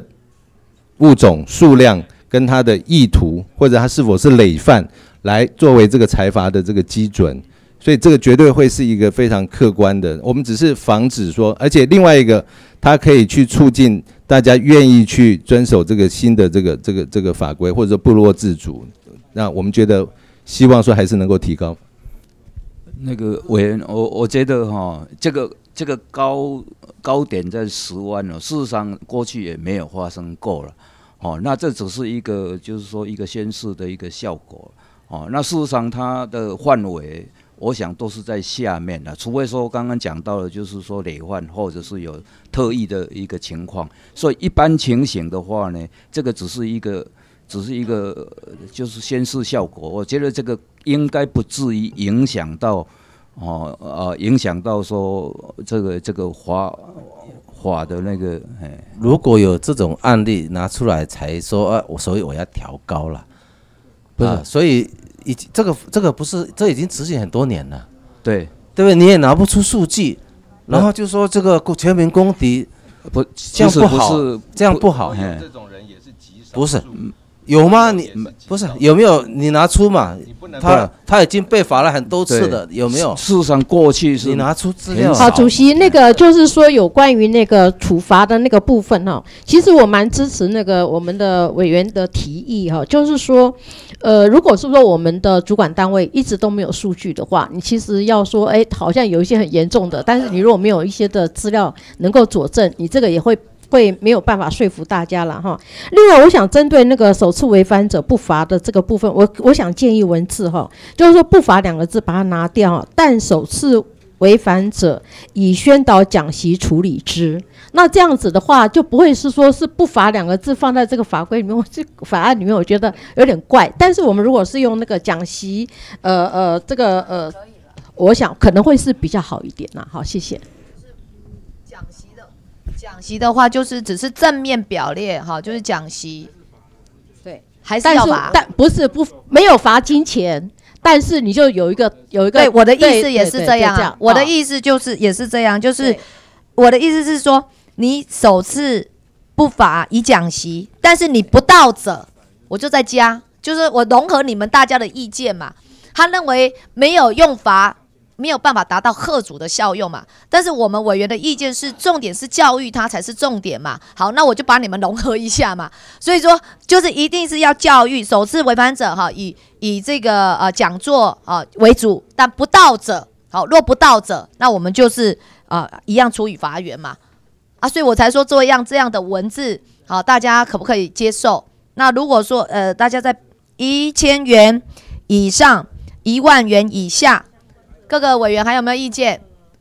好，没有意见就照这样文字。那后面呢？那个首次，我们还是有意见。你意见我们，我决定啊，我们委员决定啊，我主席啊。我们还是认为上限应该到十万元。好，我知道，我知道了。啊，来，那包括后面，但首次违反者。是这边有一些文字啊，提供给委员做一个参考。另外就是说，这个但书但首次违反者不罚哈。那如果我们建议是加上说哦，加个逗点，然后且主管机关应令其接受四小时的环境及生态讲习，跟后面的文字是类似的。那至于刚刚主席所提到的说，要不要在在如果说他没有到的话，讲习没有到的话，要在后续的处罚的这个部分，我们建议不要，因为如果主管机关已经令他去接受教育了，那基本上他就有个公法上的义务。假设这个公法上的义务他没有去履行的话，我们就直接从以行政执行法的方式来做一个处理。我想这样会比较妥适。也就是说。他公法上的义务他没有履行，可以用行政执行里面的间接强制执行，比如说处以代理刑啊、代金啊，那要求他接受啊，间接啊，要求他去接受讲习，没有办法代理刑，就只能处以代金，大概是有类似的效果了。啊，是是是是，行政执行法是里面有这样的规定，对对对，是是是。是可以，也是可以拿掉，是。不罚拿掉，但是呢，加上他们那样的文字，就是他讲的更精准了啦哈。不罚两个字拿掉还是会罚，对我觉得还是两个字拿那放着不罚了。我知道陈委员意思你是不要罚的，对不对？但是如果你没写的话，不罚只不罚他罚不罚钱，对对，就是不罚钱了，对，嘿，好来那。对啊，就是加上他后面这个文字，就是法规会的这个这个建议文字，不罚，然后逗点。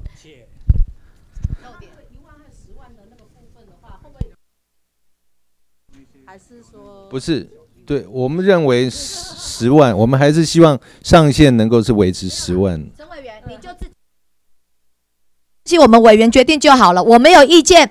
其他委员都认为一万，那如果你要提高，没关系，我们再来协调。如果你还是坚持十万，那好，我们就来协调，就这样子。对。等有数据的时候还可以修，不是这个十万，我们是希望备而不用，不是说好那个就这个就到这样子了。我直接才是一千元以上，一万元以下罚元。然后呃，但首次违反者不罚，逗点不罚，然后逗点。且主管主管机关应令其接受四小时环境及生态讲习。好，OK，好，照修正通过，来继续。好，第五十二条第十六页。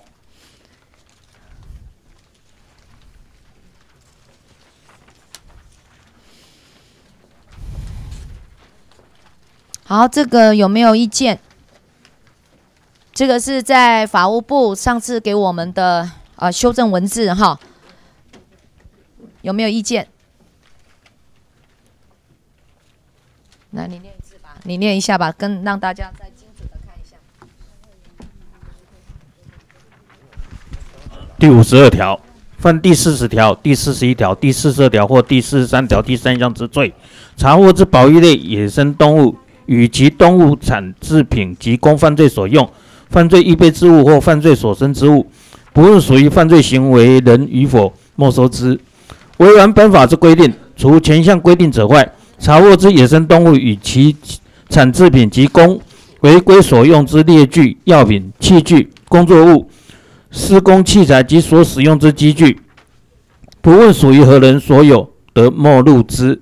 前项经没入之物，必要时主管机关得收容、公开放生、遣返、典藏或销毁之，其所需费用得向违规之行为人收取。海关或其他查缉单位对于依法没入或处理之保育类野生动物及其产制品，得委托办主管机关依前项规定处理。以上。好，有没有意见？没有，我们就照修正通过。好，那狩猎权的呃第五十四条三读真没有意见哈。好，有关狩猎权啊、非营利自用的部分，我们整个完毕。我们现在呃就直接进入到第三十二条，好，跟第四呃放生跟呃的部分，跟四十六条。好，那我在这边有发给各位哈，这个是我我找了这个。呃，我们的呃这个放生团体跟我们的动保团体啊，经过几次的协商哈，那我所整理出来的初稿哈这一份呃第二零一六这个横的这一部分有没有这一份？嘿，那我先说明一下了哈，说明一下这个完全没定案，我只是纯粹我想有个依据让大家来讨论，就是说放生团体。他们都接受，也愿意接受辅导啊。我们应该是要在环境保育的情况之下来做放生，那而且是专业的放生、科学的放生。我想这是呃环保团体跟动保团体当中的共识。好，那所以呢，我们就有一个呃机制，也就是说，我怎么知道？因为这是野保法，现在你们看到的。一般啦，放生的鸟类啦、鱼啦、经济作物啦，都不在野生动物保护法内，都不在，所以不要搞混了哦，不要搞混了。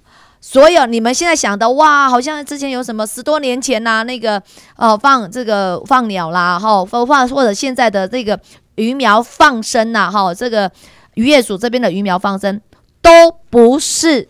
在本法当中规定，这个只针对野生动物保护法，这个我一定要厘清。好，那所以呢，我怎么知道我我抓了这个东西？好，我到不管是到野产店或者是一般的呃这个贩卖处，好，抓到的东西，一般民众无法去认定说它是不是野生动物保护法，所以我们需要专业的机构。那这专业机构当然就是委由我们的呃林务局，好，他们就要主责。所以我们有一个中继站的概念，好，就是说你有任何要放生的，你都不可以直接放，不可以。那你必须跟我们的中继站，好，来来做通报。那这中继站你会说，哇，这么多怎么有？怎么来？现有林务局这边就有，等一下林务局这个科长还是专委，好。那个林务局好了，科长专委，您要呃组长好，本身现有我们就有全国就有跟学校单位或者一些呃民间单位就有已经有通报的救助收容的地方，那那个地方我们只是多了一个功能，好，就是当要放生的时候，主动的来跟他做一些啊做一定要主动做通报，让他做专业的判断，诶，这个是野生动物。然后他会说：“好，那你可以放到哪里？好，这个就由我们的主管机关跟专家学者来判定。如果他不能判定的时候，那不好意思，收容的责任是在我们的主管机关。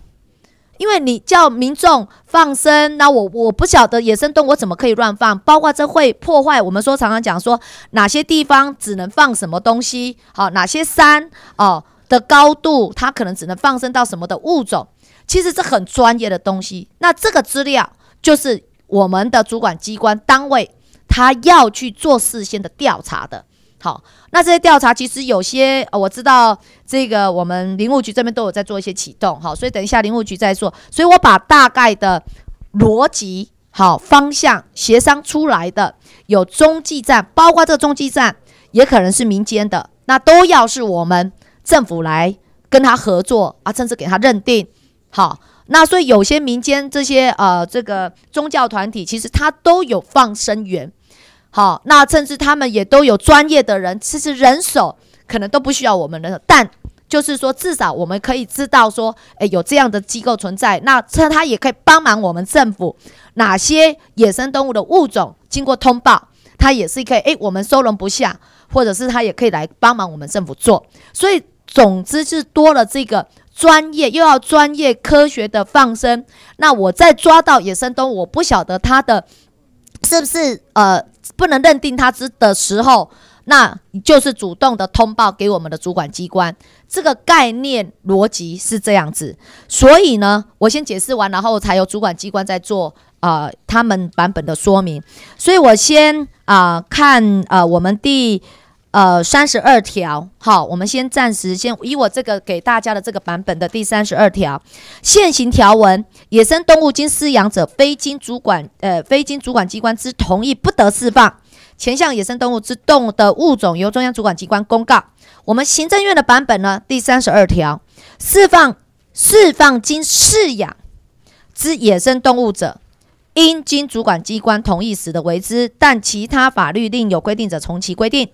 第二项。啊，前项野生动物的释放之程序、种类、数量、区域及其他应遵循的办法，由中央主管定之。好，那呢，我在这边是把三十二条先保留原来的现行条文，但说明当中翻到第二页的增加了这个说明的七跟八。好，第七当中呢，去讲说未符授权明确性的原则。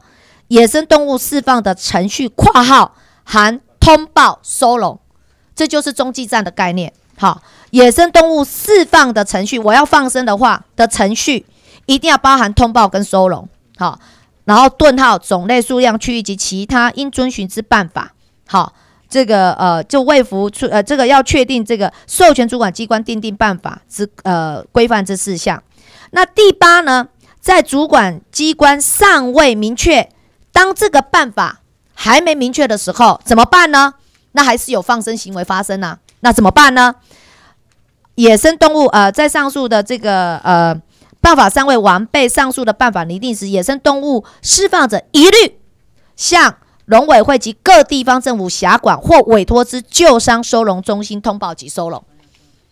好，OK，然后这个是我跟动保团体以及这个。啊，行政单位好，然后还有我们的这个环保团体啊的的一个初稿好，只是我强调要初稿好，就是你一定要有专业科学的放生，那谁来认定？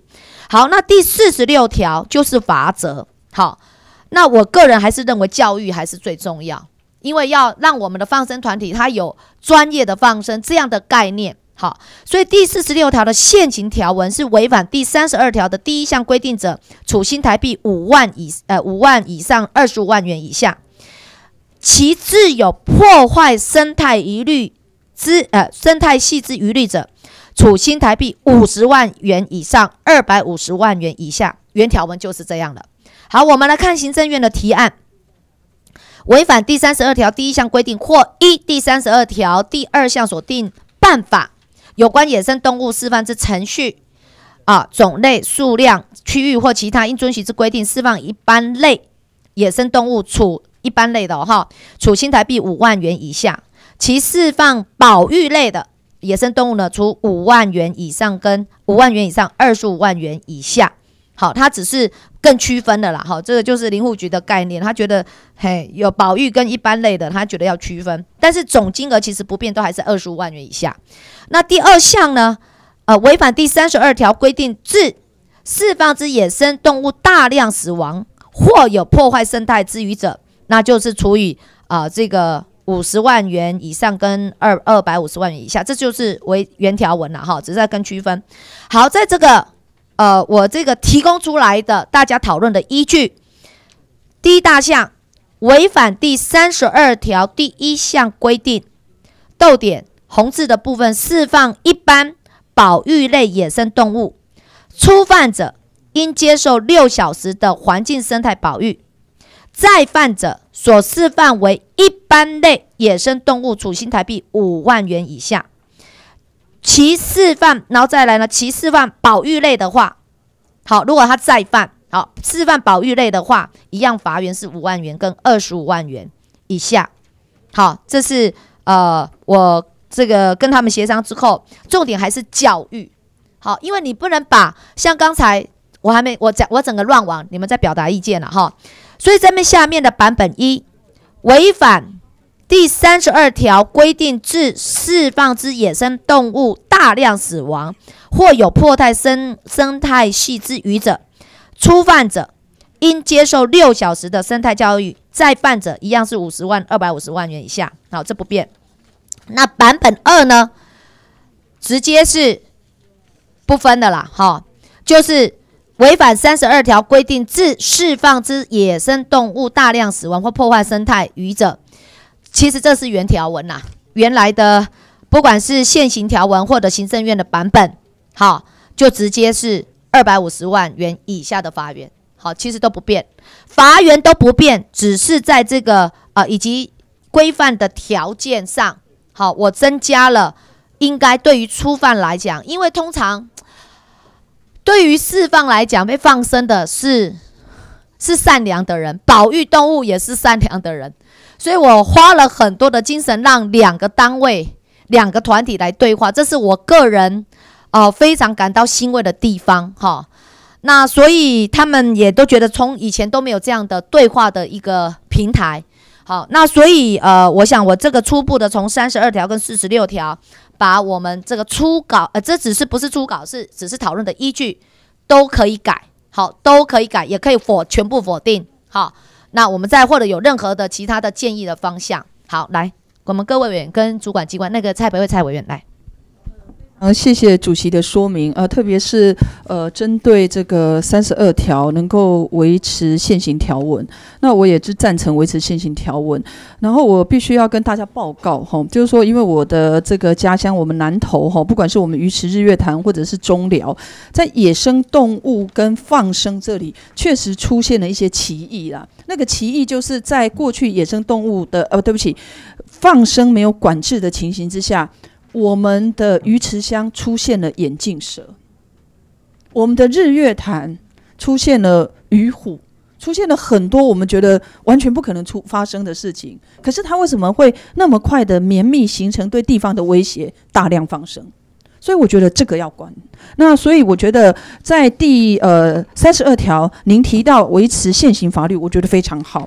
但是呢，维持现行条文的时候，在说明这里就第六项，呃，比如说要有一个授权。那既然是授权的明确性原则，这个是不是应该就定在法律里头？也就是说，参照行政院版，这个比较明确。我知道今天不知道除了法规会之外，好像也有法务部的代表在场，我是不是也可以请？请法务部来稍加说明解释一下，好，这是第一的建议。那第二个哈，就是到底要不要惩处啦？因为我觉得这个初犯者他到底是一个团体，还是一个人，还是一群人，看不出来哈。可是我必须要告诉大家的，就是刚刚我说的放生形成的环境危害，放生形成的居家安全，已经是我们的危机了。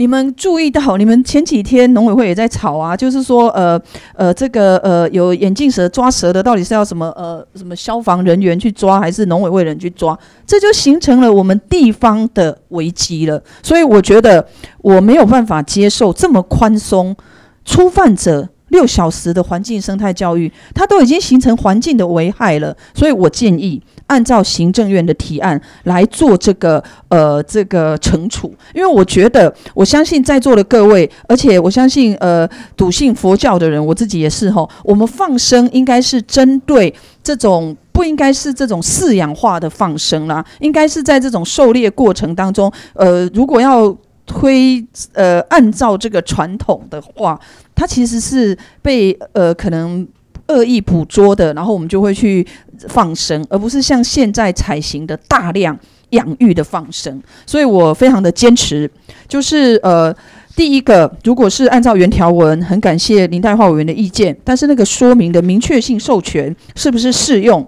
那如果要入定法，呃，定入法规，是不是要按照行政院版的？哈，这个请法务部来解释。那四十六条，我建议按照行政院版的条文了。呃，我觉得这是一个我的呃具体的建议，请大家参考。嗯，好，陈曼丽陈委员，好，谢谢哈。那个我的意见其实跟那个蔡培慧委的委员的意见差不多哈，就是说在呃二呃。第二页哈，这边有讲到，就是说，其实主席提的非常好哈，为服授权明确性原则，野生动物释放之程序，呃，后面就是说，呃，遵循的办法。那我刚刚看的这个文字呢，和行政院版的文字哈，看起来是比较接近的哈，所以我在想说，这个文字真的是写的非常好，所以我在想说，是不是可以呃支持行政院版的这个文字？另外呢，就是说我想要提的，就是说。呃，我们的那个初犯者哈，我也是觉得，到底是以主办者为为处罚对象，还是行为人哈，还就是可能是一群人了哈。那这个的认定要怎么样去处理？所以我觉得这个可能也是会有一个担心。另外就是我也是因为最近报纸也是在讲说那个鱼虎的问题嘛哈，在日月潭里面，然后它现在不是光咬伤其他的鱼类，它也会咬人了哈。所以呢，我在想日月潭如果办那个。呃，横越日月潭的这个游泳的话，哈，那可能人就会受伤，所以这个部分真的是呃蛮蛮麻烦的一件事情。因为有些外来种哈，它可能在我们台湾生长的非常的适应环境，所以长得非常好，数量也都会很多，所以这个放生真的是要稍微注意一下。最后，我想提一个东西哈，就是有关于那个用其他的观念能不能来取代放生哈？因为像那个呃日本的那个龙猫森林哈，他们就是。呃，龙猫森林这个部分我有提供给主席了哈，就是说那个呃，日本他们曾经曾经也是保护这个呃。他们的这个，他们想象中就是说，在森林里面是有很多的这个呃，有点像生物多样性，甚至有一些龙猫在里面哈。所以呢，他们就开始去认购，他们是用认购的方式。两年前我去到龙猫森林的时候，他们已经认购了十六个十六个区块哈，大大小小。所以呢，我在想说，这个东西事实上我在台湾，我是建议是说，我们可能不敢说认购了哈，但是我们是不是可以认养保育地点，就是说让那个呃放生的人呢，他们。慢慢鼓励他们往这一个方向去移动，因为保育地点去放的可能会更加的呃呃多样性哈，可以维持这样子的部分。所以我想说，在这个部分可不可以把它写在我们的这个呃说明栏里面？因为这个可能要要放到文字里面，我觉得好像有点困难哈。但是我想说，可以把这个部分放在说明栏，然后我们就是鼓励取代放生的这样一个大的观念。谢谢。我我一定要为善良。好的，这个放生者说话好，但我的前提是绝对不可以破坏生态这件事情，你不要照，因为我们这个都是公开录影的，OK，请尊重一下。如果我这样照着你们委员，你会觉得怎么样？今天这个是公开录影录音的，不要用那种民粹式。今天。我会用这个东西，是我要住在台湾，我林代华也要住在台湾，没有人可以有，没有人要我的山林破裂。但是这些放生者有没有专业？没有。这些专业者有没有科学的生态数据？没有，我政府都做不到。所以今天如何让他们走向科学专业的放生，他们都愿意。我知现在的大团体基本上都跟政府合作，所以林务局他也办了一场，这可能在年底前，去年十二月的时候吧，有办了一场，希望所有的动保团体啊放生团体来，甚至让放动保团体做老师。那一场你们可能也讲一下。放生团体本来有些人是不来，中大的都愿意出来，中小的才是我们的重点。用了多大的力气，让这些中小型的他们知道的有在放生，可是可能还没有专业知识，花了很团团团体让他来信任政府，讲师都是我们的的都都是我们动保的动保的这些资深的讲师。所以说今天不要去污名化，过去十多年前放鸟的，现在已经没有在放鸟，但是非常明明粹化的去摧毁放生团体。那他们现在所做的努力，包括现在在做非经呃做经济动物、做经济动物的这些，包括做经济在经济动物的这些啊疫苗，钱都谁出的？都是我们动保，都是放生团体出的、你去问问这个这个这个那个渔业署，他们默默的做，所以说不要去污蔑。我们的动保团体绝对是善良的，没有他们走在最前端，我们也不会有这样的倡议。他们的倡议，他们的啥？所以他要带着我们的动保，当带着我们的放生团体走。现在所有的现在重点大型的放生团体都是跟着走的，重点是那些中小型的才是我们要辅导的。中小型那个是你你看不到的哦，可能他就是一个教团或者是几个。我像我个人也会啊。我个人也会，在我还没从政之前，我还有还有余力的时候，我也会啊，到哪里买，然后我们就放生啊。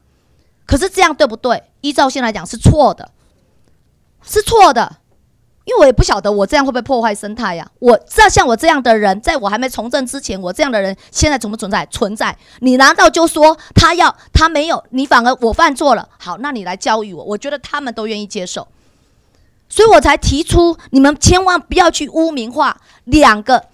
你们这样子一再的打压，透过媒体，好去打压这种善良、心是善良的，那有没有恶意？所以你们提供那些东西，什么五府那个东西，有证明说这是放生的吗？还是走私来的？有些外来种是因为走私没有市场了，所以我就乱故故乱都那个丢弃，是因为走私来的，但我也没有办法证明说全部都是走私，或者全部都不是放生，这我个人没有办法提出来。所以我觉得这个东西，我对于这件事情，两个善良的团体，我们如何让他合作？所以今天的罚款，你看哦，很难得，我并没有放宽哦。我的跟他们的讨论，我我说你们不要误会，我说放生团体，我说人家行政单位，那个是在录吗？那个是在不是不是，行政单位原来的版本就是这些金额了，所以请你们不要误会。都是五万跟二十五万，五万跟两百五十万以下，行政单位并没有，并没有特别的加重你们哦，好，所以他们误会，我就解释给他们听，所以你们我们就维持，好，那重点是对于初犯来讲，好，应接受应哦，这也是一样啊，刚才法规处的讲啊，应接受不是得接受，应接受，如果不接受的话。好，那你必须呢受相相关的行政裁，我都个人可以接受，我都没有经过他们同意，我都可以把你刚才讲的那个行政处长，跟法规处的处长，初犯者应接受六小时的生态教育。逗点，若不从者，呃，按现行的行政罚源、行政行政什么行行政罚处理之，明确化，这是最迟，但是我坚持，这个是对于人家善良的团体，你们。把恶意，你说有没有人恶意？刚刚有商业商业放生这件事情，我绝对反对。商业链为了放鸟，我养了一大堆，就有一个养一大一堆鸟，好来让你放生。这种商业放生，对于真的在做放生的行为的，在那个真的做以宗教信仰来做放生的，根本就是违，根本就是违背的。商业的放生这件事情，是我个人是。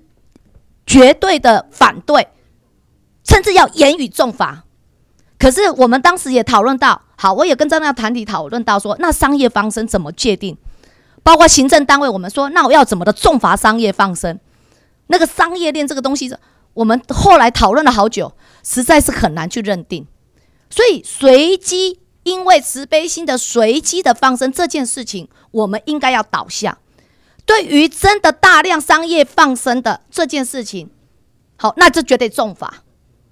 所以我在这边要把整个背景，这个两方的两方团体来的这个，我跟他们两方大家坐在谈，讨论了好久，所以才有这样子的背景，一点都没放宽啊。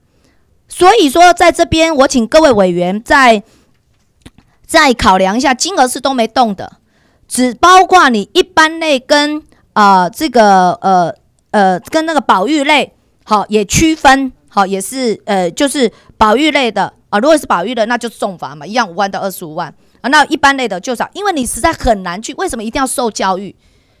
这个受教育这件事情，因为根本没有办法去辨认哦，我抓的这个是保育类，误抓。好，那我就我就要受教育，说好，这个真的就是保育类，而且它不是不能，它会有什么伤害，对我生态有什么伤害，要给他教育啊。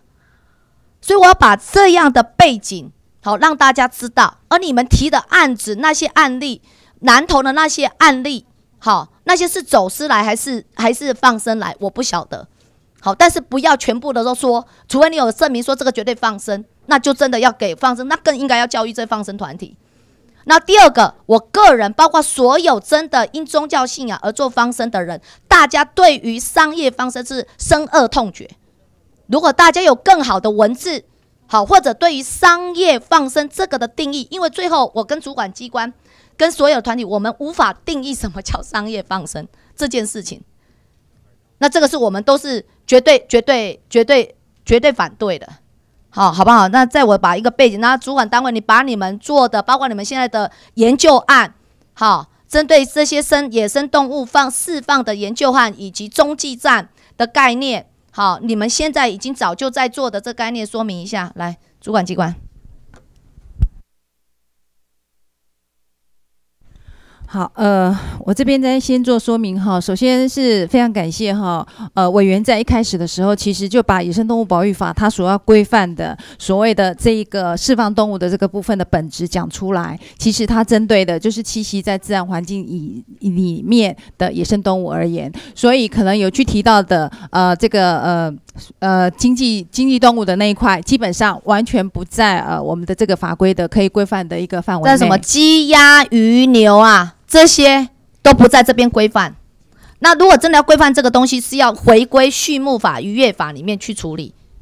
是，那所以呃，第二个部分是委员刚刚提到的，我们六个收容中心的这个部分，是我们呃为了要收容野外救伤的这些野生动物，或者是说因为查气违反呃相关的规定所呃所救治进来的这些动物所收容的一个场域。那目前呢是在全国有六个收容中心，但是呢，因为呃这个收容进来的可能不管是查气的或野外救伤的，或甚至说 maybe 有一些外来生物的这个部分，都是不适合在。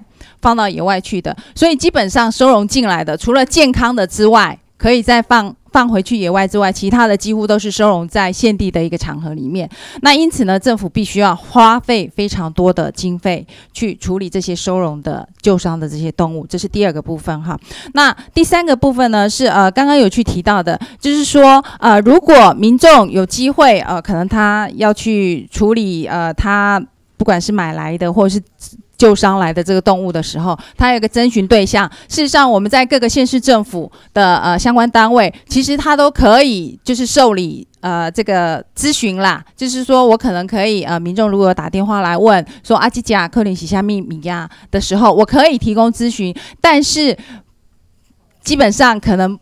不能够由这个呃他们相关的单位来做收容，要不然的话，我们的整个收容的体系、收容的空间大概就是没有办法去做负荷。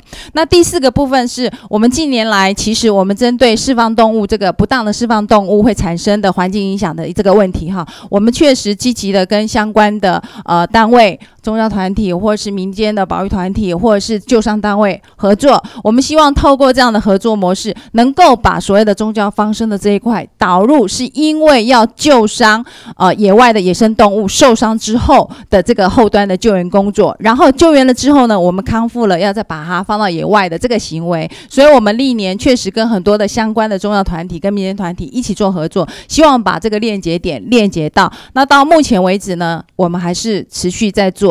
那呃，从其实今天一直在谈的有关于教育的这一块，其实确实是整个很根本的一件事情。所以我们也希望透过这样子的一个模式，能够让呃这个呃破坏环境的这个呃状况能够尽量去减少。那最后呃一个部分呃要去谈的呃是说呃呃可能有去提到说，我到底最后我要去去去，不管是处罚或者是环境教育，我的所谓的这个犯者。我要怎么样去做处理的这一块部分，其实在实物操作上面确实有实实物的困难。去是是是是违规者，不好意思，我要怎么去呃认定的这个部分，就是我到底喜被用他的头那个人，还是说一群人全部，还是怎么样的一个模式？这个部分实物操作上面会有实际上面的困难。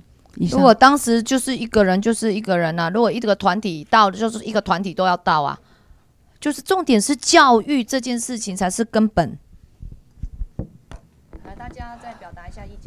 呃，我觉得林委员特别强调跟那个呃宗教团体还有这个呃动保团体来沟通，我觉得这是很好的事情。而且我相信也如同林委员讲的，这是一个善意了哈。不管他是动保或者是宗教团体，那既然他是善意，他就不会在呃不清楚状况，或者是说在呃比较恶呃呃，如果他是恶质，那他就不是善意了嘛哈。所以我觉得我们针对触犯就是。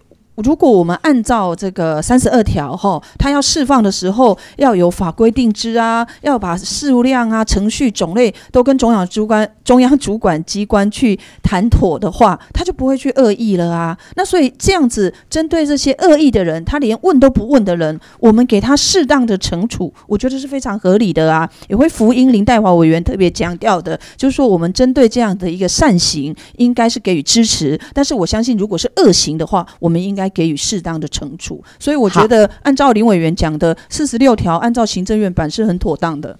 好，那程序这个问题，你要听懂行政单位的，他愿意接受通报，他不接受所谓的收容跟释跟协助释放这件事情，这个才是很头痛的地方。我现在你不要想说鸡鸡鸭鱼肉，呃，鸡鸭鸡鸭鱼那个你都不要想，因为那是经济作物。现在讲的是野生动物这件事情。好，我就举，如通常来讲，一般民众真的无法认定，好是野生动物，或者是呃是野生动物，或者是一般的一般的经济作物。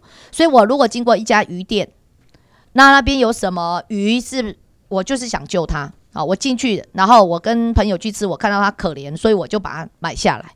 好，但是如果按照我们这个法律的话，我是要去问的，我要打电话去问，说这只鱼可不可以？好，如果按照这个呃第四十六条的话，我必须事先告知，诶，我要事先告知，我怎么事先告知他说我要买这一条这一条这一条保育类的鱼啊？我一定是随机经过。我随机经过，我觉得可怜，我就是要救他，这就是我随机要救他。但是如果按照这个法令，我要事先告知啊，我如果没有搞理理解错误，那表示说哦，我还要跟你通报哦，我要我怎么可能知道说我要去哪里？我要去，我今天要经跟朋友去经哪一家餐厅，我还要事先把那个餐厅啊呃这个调查好，好。啊，所以如果我知道的时候，我就应该要告诉他是这件事情。我要告诉他说好，我要通报。那你要告诉我说你啊，你通报的时候，那你要往哪里放？这不是我的责任。你要告诉我从哪，我可以带着这只鱼去哪里放，或者是说你觉得鱼这个出来的时候要包括怎么运？好，那那是主管机关你专业要去辅导我的。好，我要讲的是这件这件事情。那初犯还是有人初犯这件事情还是会有发生的时候，那我觉得可以释放一般保育类动物初犯个人或团体，或者个人及团体应接受。连做法嘛，我都可以最严格的标准连做法，好，然后再加上后面生态教育若不到者，好什么行政行政法，好依行政法处理之。这样够严格了吧？因为你不要把每个人这个，因为如果照你行政院的提案这件事情，我要预告的，我怎么可能预告？你就违反了，你才包括你四十六条这个才会陷入商业商业放生这件事情。主管机关表达一下，还有我蛮坚持的，一定要有收容中继，因为你要导向专业放生这件事情啊。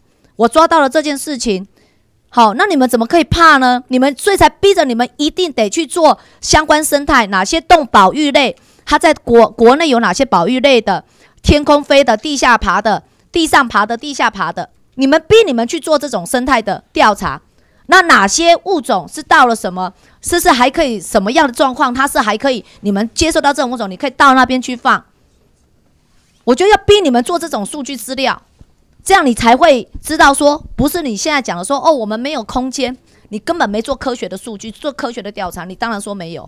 不，呃，那个委员呢，有关那个野生动物、野生动物的呃收容、受伤收容这个部分，我们有一个特生中心，哦，它里面有野生动物的这个、这个、这个是没有问题，而不而是而是说，如果是一般的动物，哦，也往往往经，哦。哦，有有些受伤的动物呢，它不是我们原来的野生动物，不是我们天然环境的野生动物的话，你送这个呃进来收容的话，那这个这个可能是是比较比较难的地方。那你都你都没有办法处理，你叫怎么民众怎么处理？你不可以去抹灭人家那个真的因为随机这种东西是已经是宗教伦理的东西，你不可以说不行，你不能做。因为人家的宗教教义放生这件事情是人家的宗教教义，所以你不可以去对这种东西是没有办法去去可以免。那既然有这种心愿，好，我今天就讲，如果这个你们认为不可以，你们认为说好，你们没有办法啊去收集这样的资料，或者是对于这种物种，可能有些我们真的没有办法在台湾生存。好，你今天坚持我也做过，你觉得民间上来讲会不会发生？还是会啊，有些人还是会因为啊这个，因为因为随机，然后这个去去去去买了，或或去看到了，然后你们就是避而不见，说你们没有能力处理，这样对吗？所以你们执政单位就是怠惰嘛。对我就是要逼你们在野生动物，就是像原住民那样，原住民今天大家就是后来有个协调了，我们的狩猎权要兼顾，然后我们也拜托跟原住民合作。你们的在生态的数据的建立，专业的数据，它呢还是你们？可是基本的 data 要我们原住民同仁来提供啊。那今天也是一样，我就要逼着你们对于国国人的生态，到底野生动物的生态的布点、好区域、数量，我要逼着你们给我做出来。这样你后你的前端在收的时候，人家通报的时候，自自然就会告诉你们。那我说实在的啦，真的会做方正都是经济作物啦。这才是副主委，你真的要回去督导你的渔业署跟畜牧处，那个才是他们怠惰的地方。今天野生动物还是还是一只小范围，大部分都还是走私进来的。我我这边我这边其实其实刚有听听到，就是说，因为主管机关在讲说，他们的六个收容所只处理呃这个受伤野生动物受伤的，然后六个收容所已经没有办法，好再加上再再。再收容其他的了，他们乱讲的。哈，收容其他是要。就我的意思是说，我的意思是说，今天这里面哈有遵循的事项哈，那个说明说有通报，好跟收容好的程序。可是你们主我们的农委会到底有没有这个能量去处理？哪一个机关机构去处理？那个民众捡到野生动物，发现了受伤野生动物，这个一直都在做啊。都对啊，然后我们也当然都会处理啊，然后包含很多人捡到那个雏鸟或者是受伤的鸟，好，他送到政府送中心或政府委托的那个鸟会，这个已经行之非常多年了，这没有问题，没有从来没有什么政府不收。好，我们现在讲的是说你刻意这动物没事，你把它好从甲地把它放到乙地去，我们现在讲的是这个行为。那刚刚委员讲的，其实我们针对其实放生这东西，老实讲是结果论。动机是好的，不代表结果一定是好的。所以才需要所以，所以，所以，不当的放生，其实它的危害是远大于个别人的狩猎的这个问题，所以这是为什么我们我们认同局长，那你告诉我，你怎么把它不当放生导向为专业的放生、环保的放生、科学的放生，怎么导入？你所以我们一方面在做教育，这部分委员刚刚也有提到，那我们一直在做沟通。二方面还是要借由这个法律来规范，对呀这两者，所以是那我们认为这个所谓首次不初犯者这个不罚哈，这个是在执行上会有很大的问题。一个是每个人都来初犯一次，他最后放的可能已经造成生态很大的危害了。你如果任何初犯者不罚，这个这个它的影响绝对不是说狩猎可比拟的，这是第一个。第二个，放的人有动机良善的，比如说我们的很多放生团体，但是不好意思，也有很多不是属于这方面，你没有办法去界定说，呃，这个动机好的或动机不好的，通通都是初犯，所以你通通不罚，你会放掉那些很恶意的，所以我们还是认为说应该删除这个所谓首次不罚的这个部分。没有啊，这样也没有办法处理，就是我们官方六个收容中心没有办法承担有有有，我们一直在承担，我们一直在承担呢、刚刚刚刚我们副主委讲的是说，你把那个家里养的那我如果去商业的水族馆买的一只那个不在这里面规范，那不在这里面规范，那不在这里面，对对对对，那不在这里面规范。所以只要那是经济动物只要是这是讲的是只野要生动物是真正的野生动物，对对，政府一直都在处理，从来都没有说我满了不处理，绝对没有，对。有一种啦，你所谓恶意啊，譬如说走私者，好、那他就是恶意放生嘛，因为我不市场价值。以走私的来啊，但是走私进来，它可能是为了要吃或为了要观赏，但是那些动物为什么会出现在比如说日月潭出现哪？还是有其他，不是走私者放的。嗯所以台湾是有一些莫名其妙，它也不是基于宗教，我不我们其实不晓得它到底是什么动机。嗯，它是一直在连高山都会出现一些不应该有的动物，所以这个问题真的很大，你没有办法针对所谓首次的人，他的他他到底是什么样哦？他是善心的，他不是，所以这个不法是有相当大的这个漏洞的。那他一次就可能造成生态的浩浩劫，所以这点恳请这个主席能够量查。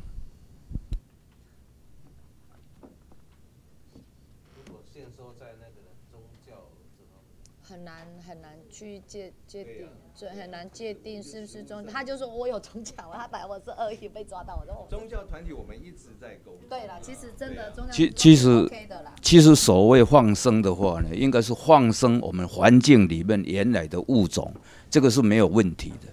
可是今天如果放生的东西不是我们原来环境的物种，那可能就是一个这个我都知道。对，都到他们那边了。对，就是要到他们那边就。是说已经装不下，然后现在的意思是说，你们的收容中心装不下，你你它就是变成另外一种不是我们所谓收容中心装不下的，指的是那些弃养的，就是外来种或什么。对对对，但是我们刚刚讲了，发现受伤的鸟或是受伤的动物那部分，我们一直都在做救伤，那个没有所谓的对不处理的问题。我我想我跟高路委员的是一样的意思，对就是他讲的类别是不是野生动物啦？不是我们这边所讲的野生动物啦。不是不是真的，那个高路委员误会了。没有没有，我跟他的意思是一样。如果我没误会的话，如果收到是野生动物，啊，我不知道它是不是野生，但是经过你们的认定，哇，这个真的不是台湾的物种，我也没地方让它放。这样的话，你收不收？我们还是会看状况。我们现在的你我们的意思是你一定得不是你现在讲的是外来种哦。因为一般民众根本不滑倒。外来种我们是我们民众弃养的，如果说他养一养不想养的，这个我们会跟他说，你应该帮他找新的主人。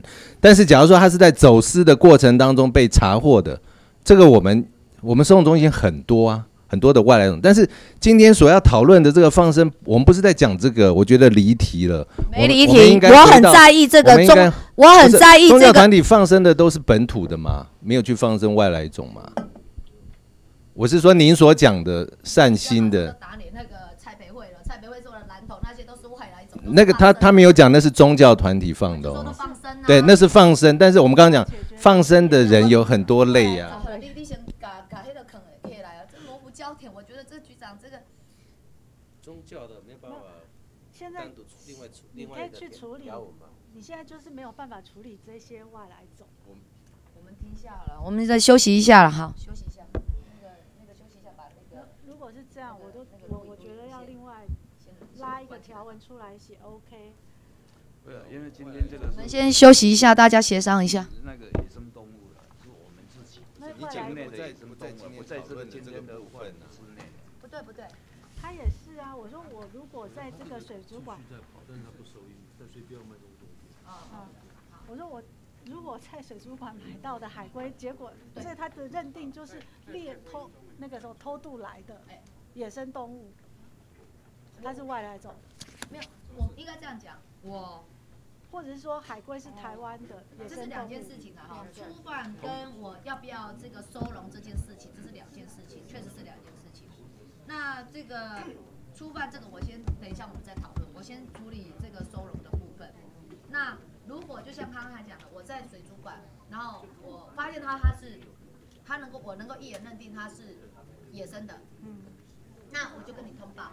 对。但是，可是你通报了结果，你们调查结果，它不是我们国内原生的，好是外来的，根本不可以在我们台湾的任何一方任何一方存在。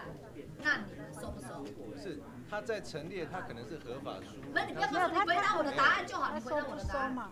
不是，你为什么现要收？在现在我的意思是说，我担心的意思是我们现在主管机关没有能量去处理这个，那我们要把这能量长出来嘛。不是，没有能量处理什么？高路委员，你讲的没有能量处理处理的。来了，你回答我的问题就好了，局长。哎我现在用他的案例，我在水族馆看到一只野，我很确定它是那个野生动物啊，但是我不晓得它是不是外来种。反正我就跟你通报，我想买，我想我想放生它，或者是说我在水族馆就是，我就看它可怜，我就是把它买回来，但是我想放生，那按照我的版本，我不可以随意放生，我就交给你。结果呢，你们判定的结果是，哦，这个是外来种，不可以，不适宜在我国内做放做任何地方的的的放置。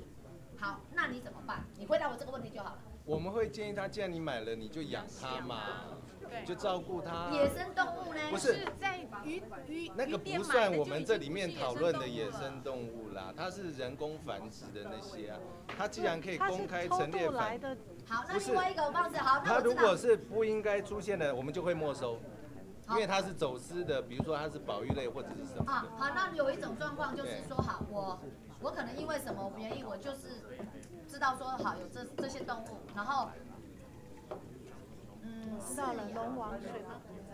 如果看到龙王鱼，好，那有一种状况，我在夜市，好，我在夜市就有有可能哦，可能人家走私来，但我对对对不管，我没有办法知道他是不是走，可是我在夜市，然后我就买了两只，然后呢，我就我不能放，我不可以乱放那，两只什么？我不晓得啊，我现在告诉你啊，我的题目就是这样，我买了两只、三只无所谓。结果后来被你们然后我就跟你讲说，我要放生这三只，可不可以？要到哪里放？可不可以放到哪里放？什么时候放？我要问你们呢、好，那你们查查了结果就告诉我，哦，这三只动物呢是什么什么的啊、野生动物或者是外来种，根本不可以在国内任何的地方放。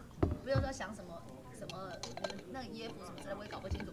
好，那个东西不可以在国内放，那你怎么办？你看如果它是所谓不应该输入，它可能是比如说你你就回答我的问题啦。我在夜市抓到三只路上的动物，我想要放生，然后呢，我就是跟你们通报，告请你们告诉我这个我可不可以放生，要到哪里放生，什么时候放生，时间地点，好，包括物种，好，那你就告诉我。结果你们查出来结果，这三只路上动物是外来的，外来的野生动物，绝对不可以在国国内的任何地方，好放。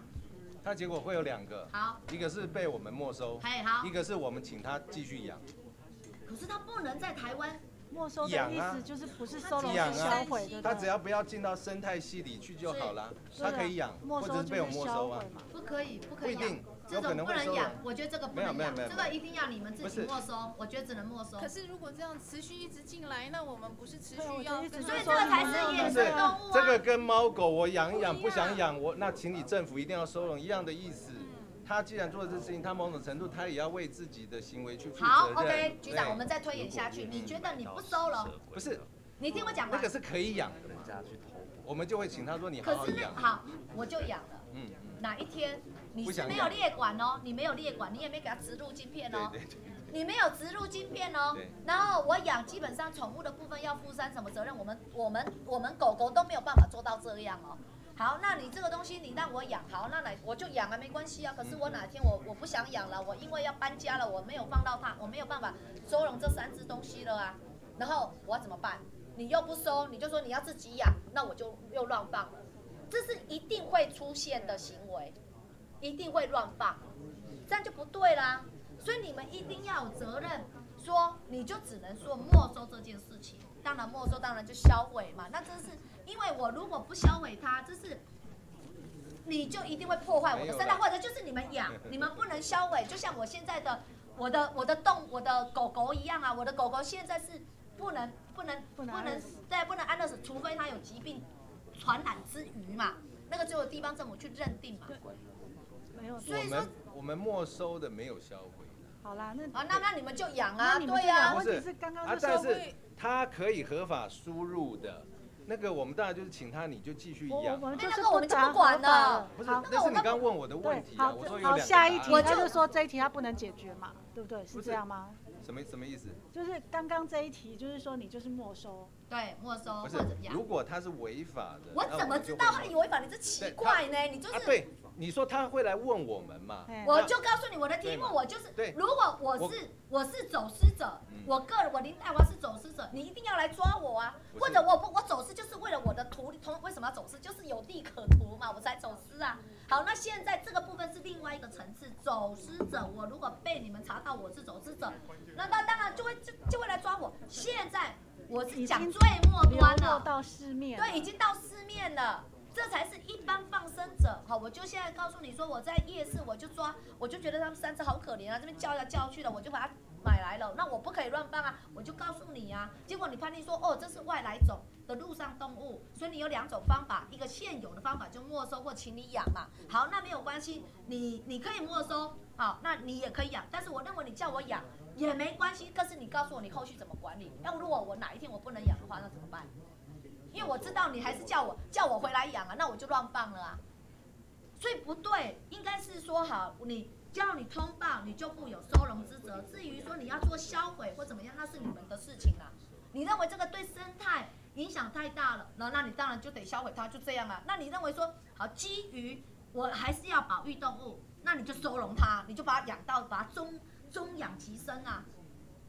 你不可以再回归到我们民众来呀、所以说才要教育，你应该是要让人家教育说，好这样子其实是呃这样的物种，甚至你要花很多的的宣导的费用，这种物种你看到就尽量不对啊，这种根本就不可能存在的。好，你那第二题，同样是在夜市买，我买到食蛇龟，怎么办？食蛇龟是保育的吗？违反保育法，对对，违反保育那我送到你那边，会被没收啊可是会被可是没收啊。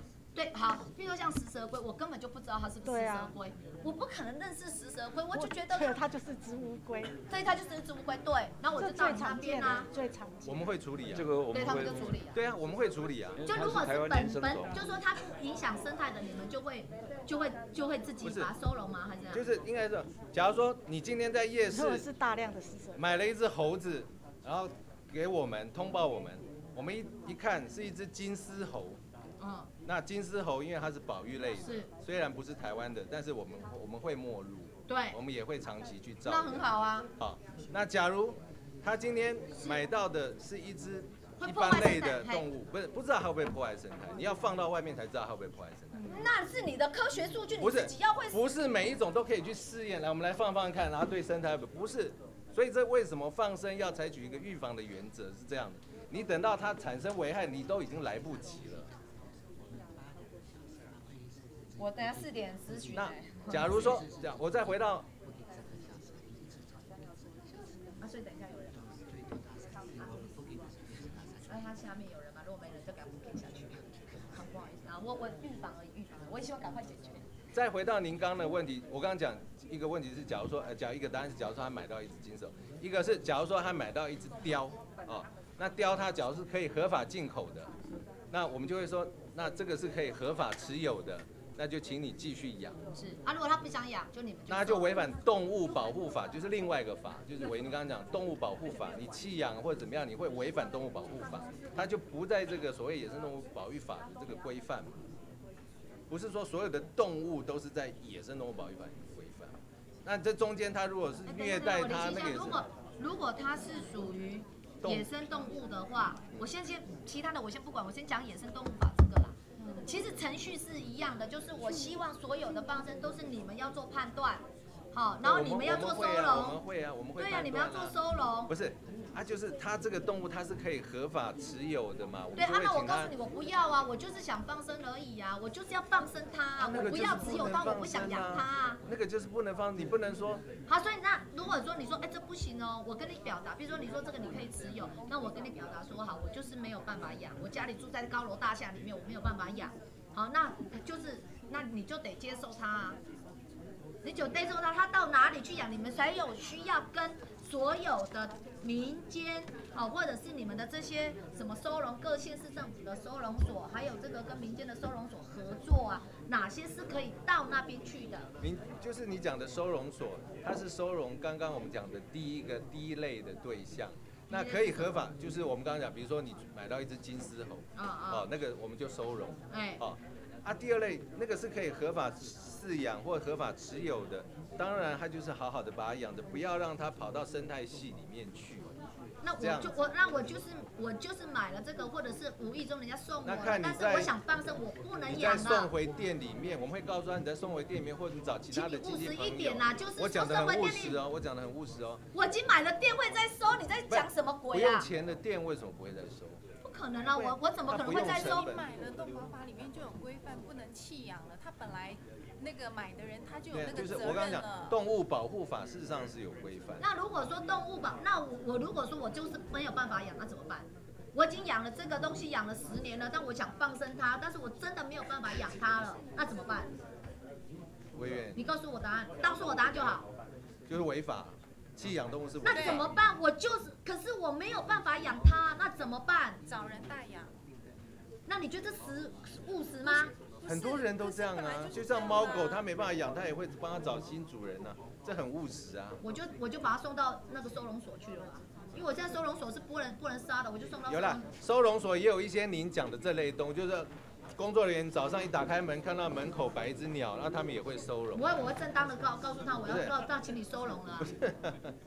没有，你们讲的很不实际。我只要想到我现在住在大楼里面，依动物保护法本来就不能弃养动物、我没有要弃养，我告诉你说我没有办法，我所以说这就是台湾的行政单位的缺失啊。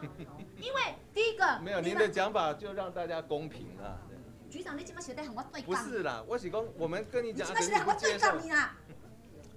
委员不是说在我们在讨论吗？你在对抗你啊？什么叫做我们的公平？我这边和你讨论红款，对啊我觉得你才在在云端呢。你怎么写的很啊你？委员，您您觉得说弃养他不需要负任何责任？我告诉你，我没有要弃养。你说他不想养了，对，我就真的没办法养啊，我的经济出了状况，没有办法养啊。那我们那怎么办？你政府要告诉我，因为我们现在宠物没有管理，每一个人，你们现在是不敢做，也不没有办法做。每一个养动物的他都有责任，我认同。你有什么管理我？你没有要求大家申要申请宠物就要跟你登记呀、然后我要缴税啊，你根本就做不起来嘛。那我现在只是在后面收尾。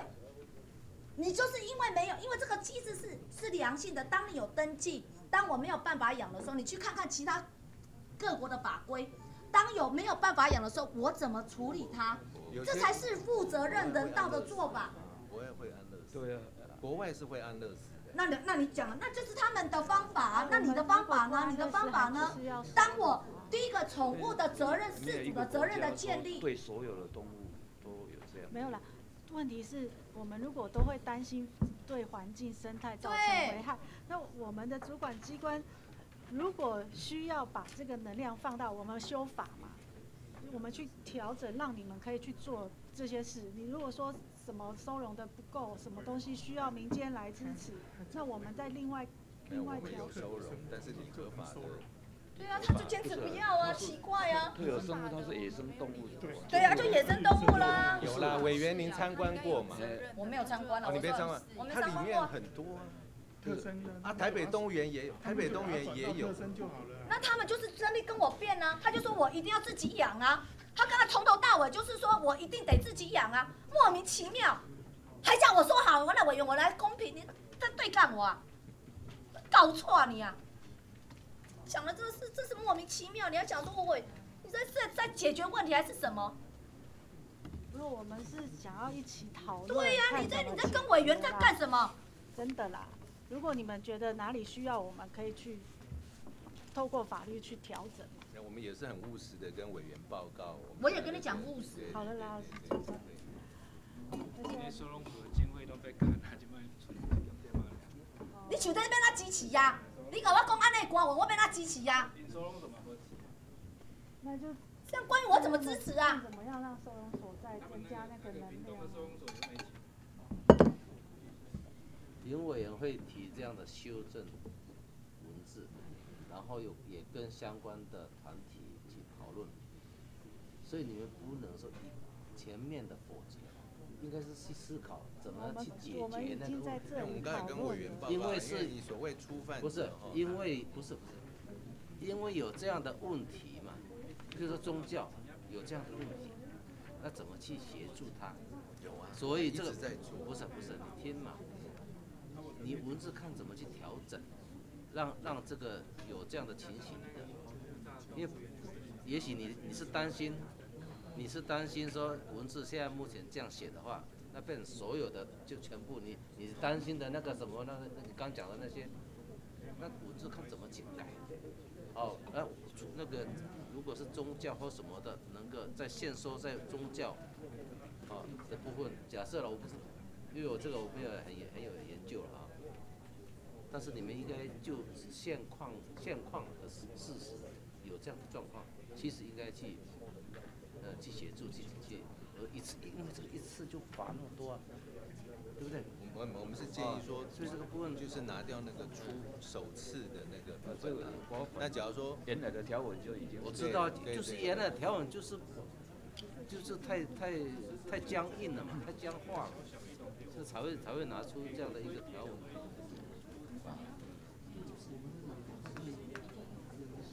那怎么办？那个蔡蔡培慧跟那个陈曼玉、陈曼丽、陈委员，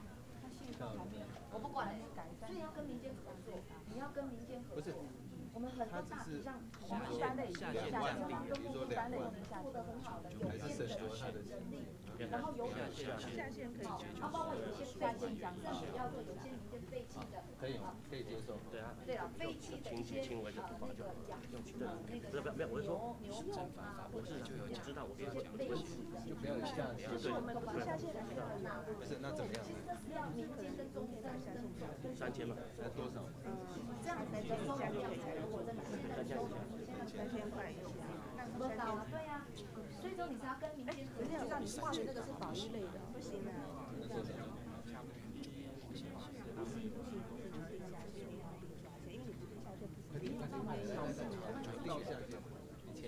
你放心吧，我说我就说前面没有跟他们讲。那不是那到底多少？那些人真的是很擅长这个跟政府合作，而且上面是一般政府都不要。不是啊你保育类当然就罚重了。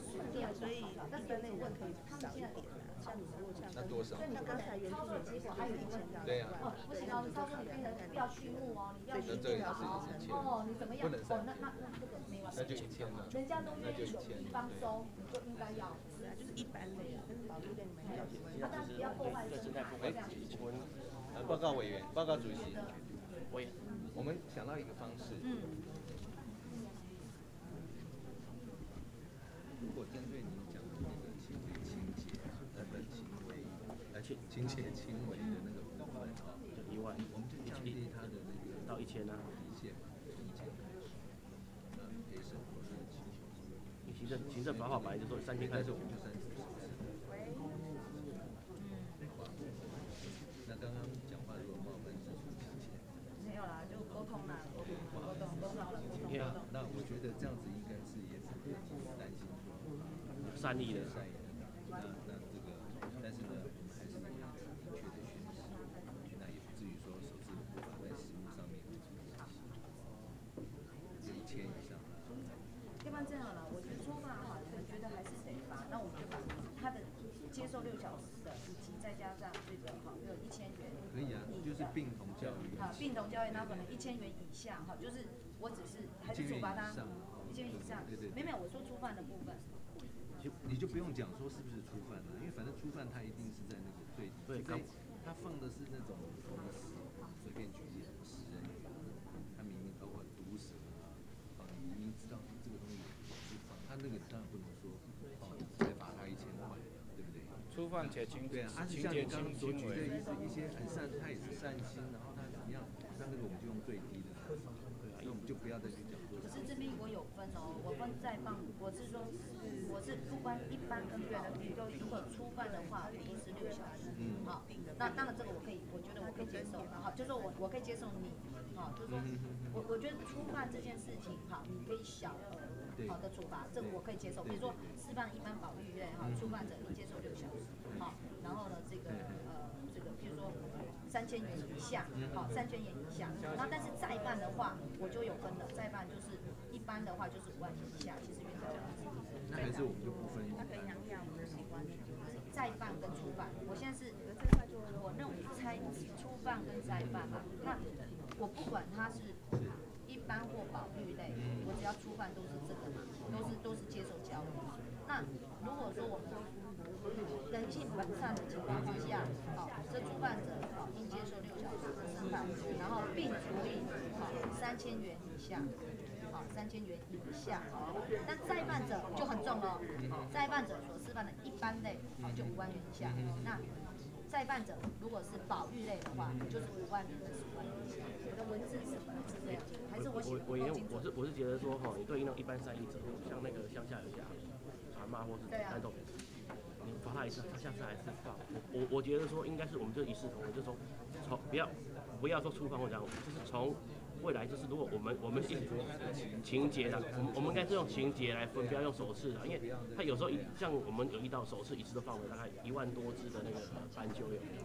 那所以说但是那个是那个是经济作物啊。没有没有，我有看，我看其实斑鸠是野生的，所以我也我也我我我们是建我们经常建议说，我们就一千到二十万，然后情结清对后，对对对对对对，很多这样子，那些阿公阿妈他他你给他罚一罚一千，那个他就进到对了，而且而而且一千块以下，我们那个刚法务会讲，事情节很轻，他可以行的法他可以免罚的，所以说所以但是我觉得触犯还是要给他教育。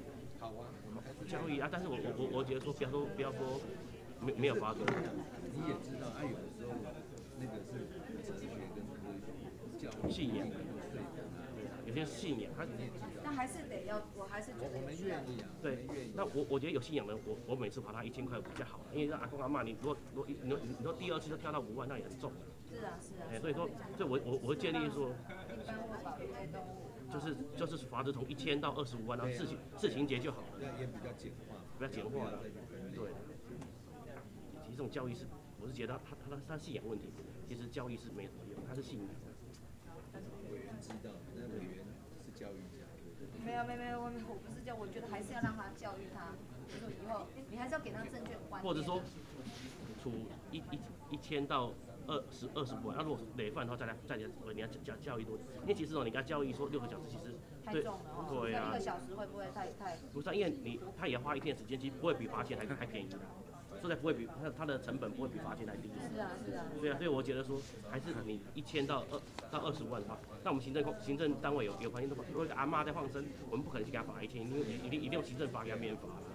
因为五万确实对于像这样的确实还是。对呀、您刚刚的提醒，可是你你原条文是有分的哦。我我我们我们可以我们可以修啊，我们可以我们我们我们就是一千，因为阿妈她会一次放、两次放、三次放，啊，如果她第二次放调到五万，那很重。你不如说我们就一视同仁。好好，那你们文字修出来看看吧。对，修修出来看看。啊，那下面是？那出换的讲一般就不要，我们我们对啊，就不要吃饭了，这个已经是有这么严重了，还触犯。好，那好，那 OK，那就是说原来的现行条文，那你们只是增降到一千。降降降了一千呢。那你这样违反第三十二条。我们现在修一修给你们看，好不好？好，那包括但是这个东西就变成在我这个违反，对，应该是，那你这个东西不呃，对于这个。哎，我们先调好再给你看，好，整个再再好好看。好好，程序这个东西我还是要通报跟收容，我一定要有收通报跟收容还是要程序上要。其实唯一，其实我我我我我我跟委员报告，因为牵涉到的是三十二条的部分，三十二条的部分，因为主席的这边的意见是认为要修正。嗯，对，但是但是我很在意，还是要有办法。那我很在意要办法，但是办法一定要通报跟收容。我就是要说，第一个，如果这个条文没有修正，说明栏就不见了，这个条文是维持原条。因为通常说明栏是要说明我要修正的理由，所以你要加什么文字，可能就没办法加。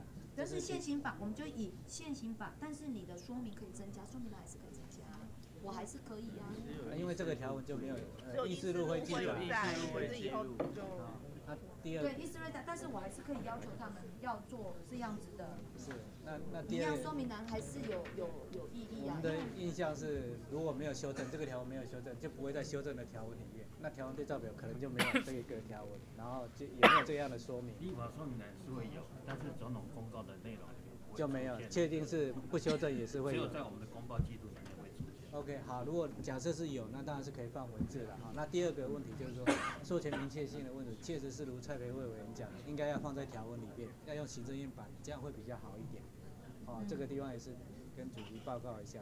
那第三个就是说，你刚刚讲到只要通知，事实上如果维持原条文，他还是要，他还是要经过主管机关同意啊，否则还是不能释放。所以不是只有通知的问题，还是有个同意的义务主张。哦，这是维持原条文大概可能会碰到的问题。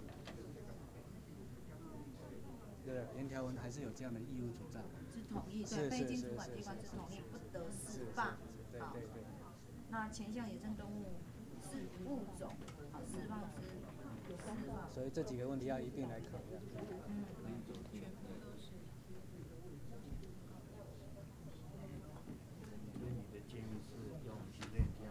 是是，我们也支持蔡培伟那个意见说用行政院办事。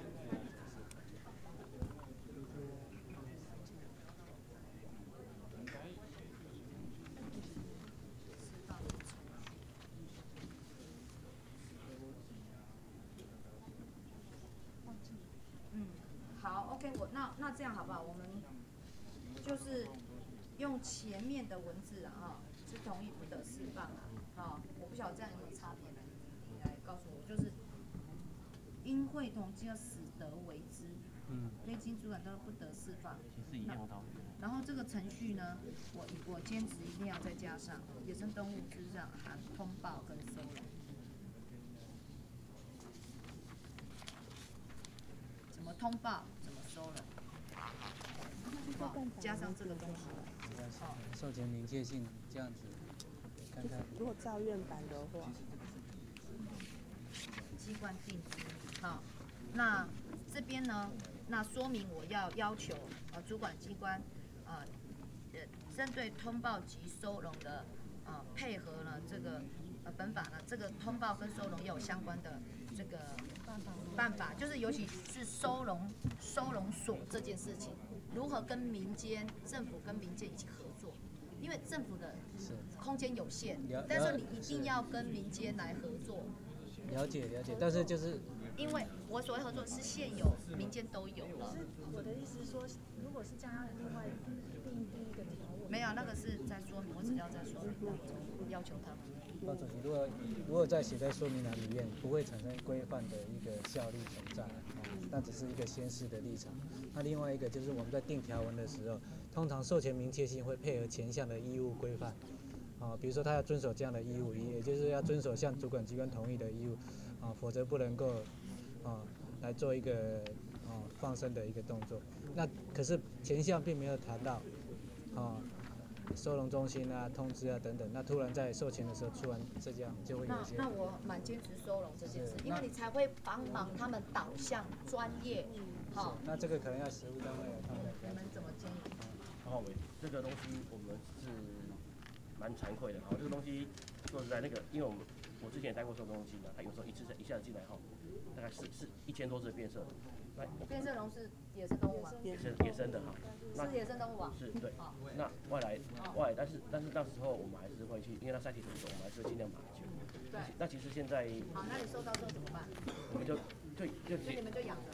然后然后对，然后然后然后我们现在也是遇到一个一个问题，我们就是收食蛇部分说那个柴公跟斑龟嘛，那也是都手收到大陆。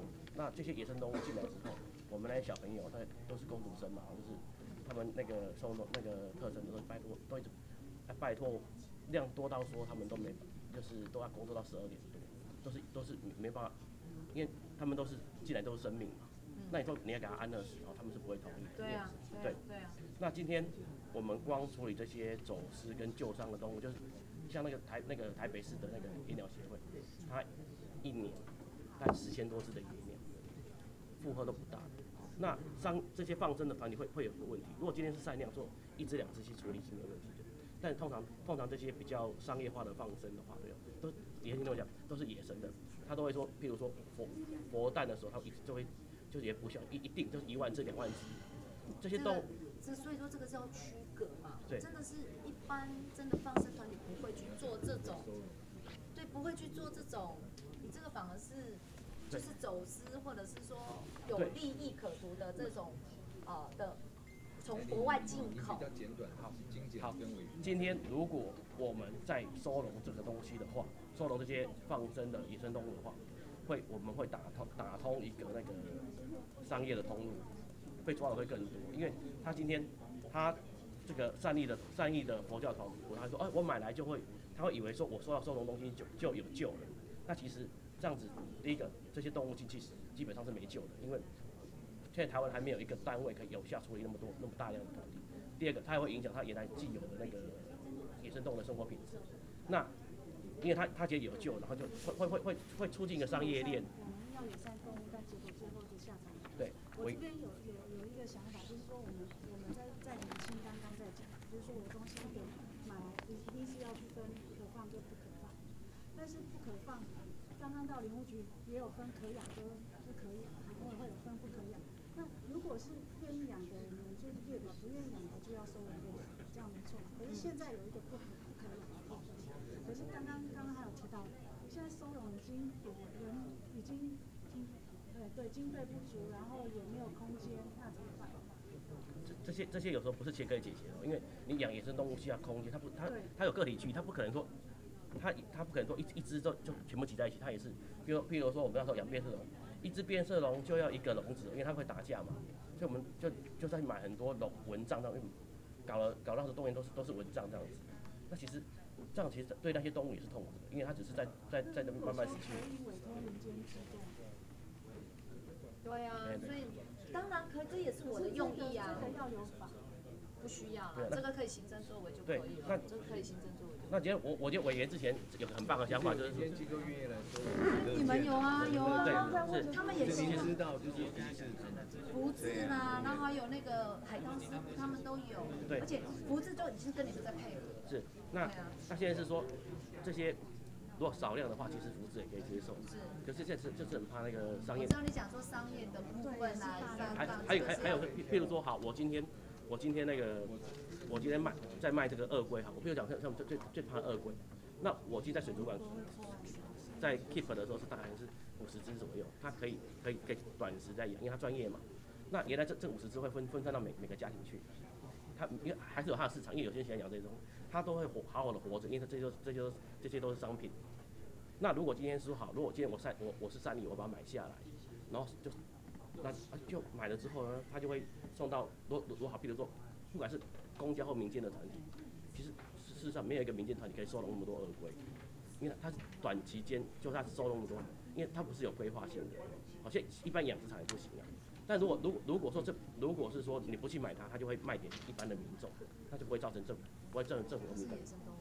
都都分析了，而且它是做对对，所以所以所以今天是说，我委员的，所以我就建议委委员之前在在我们那时候暑假的时候不是开版本说，我们可以协助民间去订定这个收容的那个动物福利的标准，就是这个行的。说，如果你民间要做这个事情的时候，一些动物福利的规范，我们去可以去操作方，我们去协助他定这个收容的那个标准，这个是对对对是是是是但是是如如果是说你说，哎。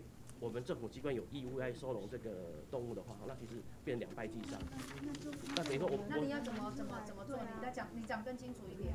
如果说这些西西绿龟是吗？西绿鳄鳄龟鳄鳄龟好二龟，那我我我我我觉得说，我们可以政府可以对野生动物的收容或救伤的的一些的那个的那个团体或是机关，我们政府要辅导他建立那个良好的饲养标准的。OK 对对对对，哎因为这才是正道。因为如但是因为我们现在现在其实我们真的六个收容所真的没有，我知我知道，所以我一直他知道我的意思，他他知道我一一直强调一定要跟民间合作，对对对对对。只是跟民间合作有一个就是说你一定会他，因为他们现在基本上都过量，所以你们可能就如果真的跟他合作，你会说哦你这个违法，因为你过量啊，那这个你要已经要变成畜牧场了哦，就是重点就是两个，就是说你要跟他合作，基本上是基于他在协助我们政府在处理这件事情，但是不应该用很现有的法规，他已经愿意收了，你就一定要阿弥，你就一定要很高兴，你就一定要阿弥陀佛了。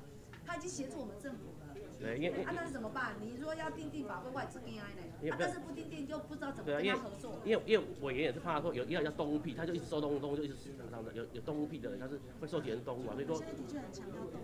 对对所以说我们我们可以这样说对我们就是说，其实刚其实民间的都比我们我们我们的海，你像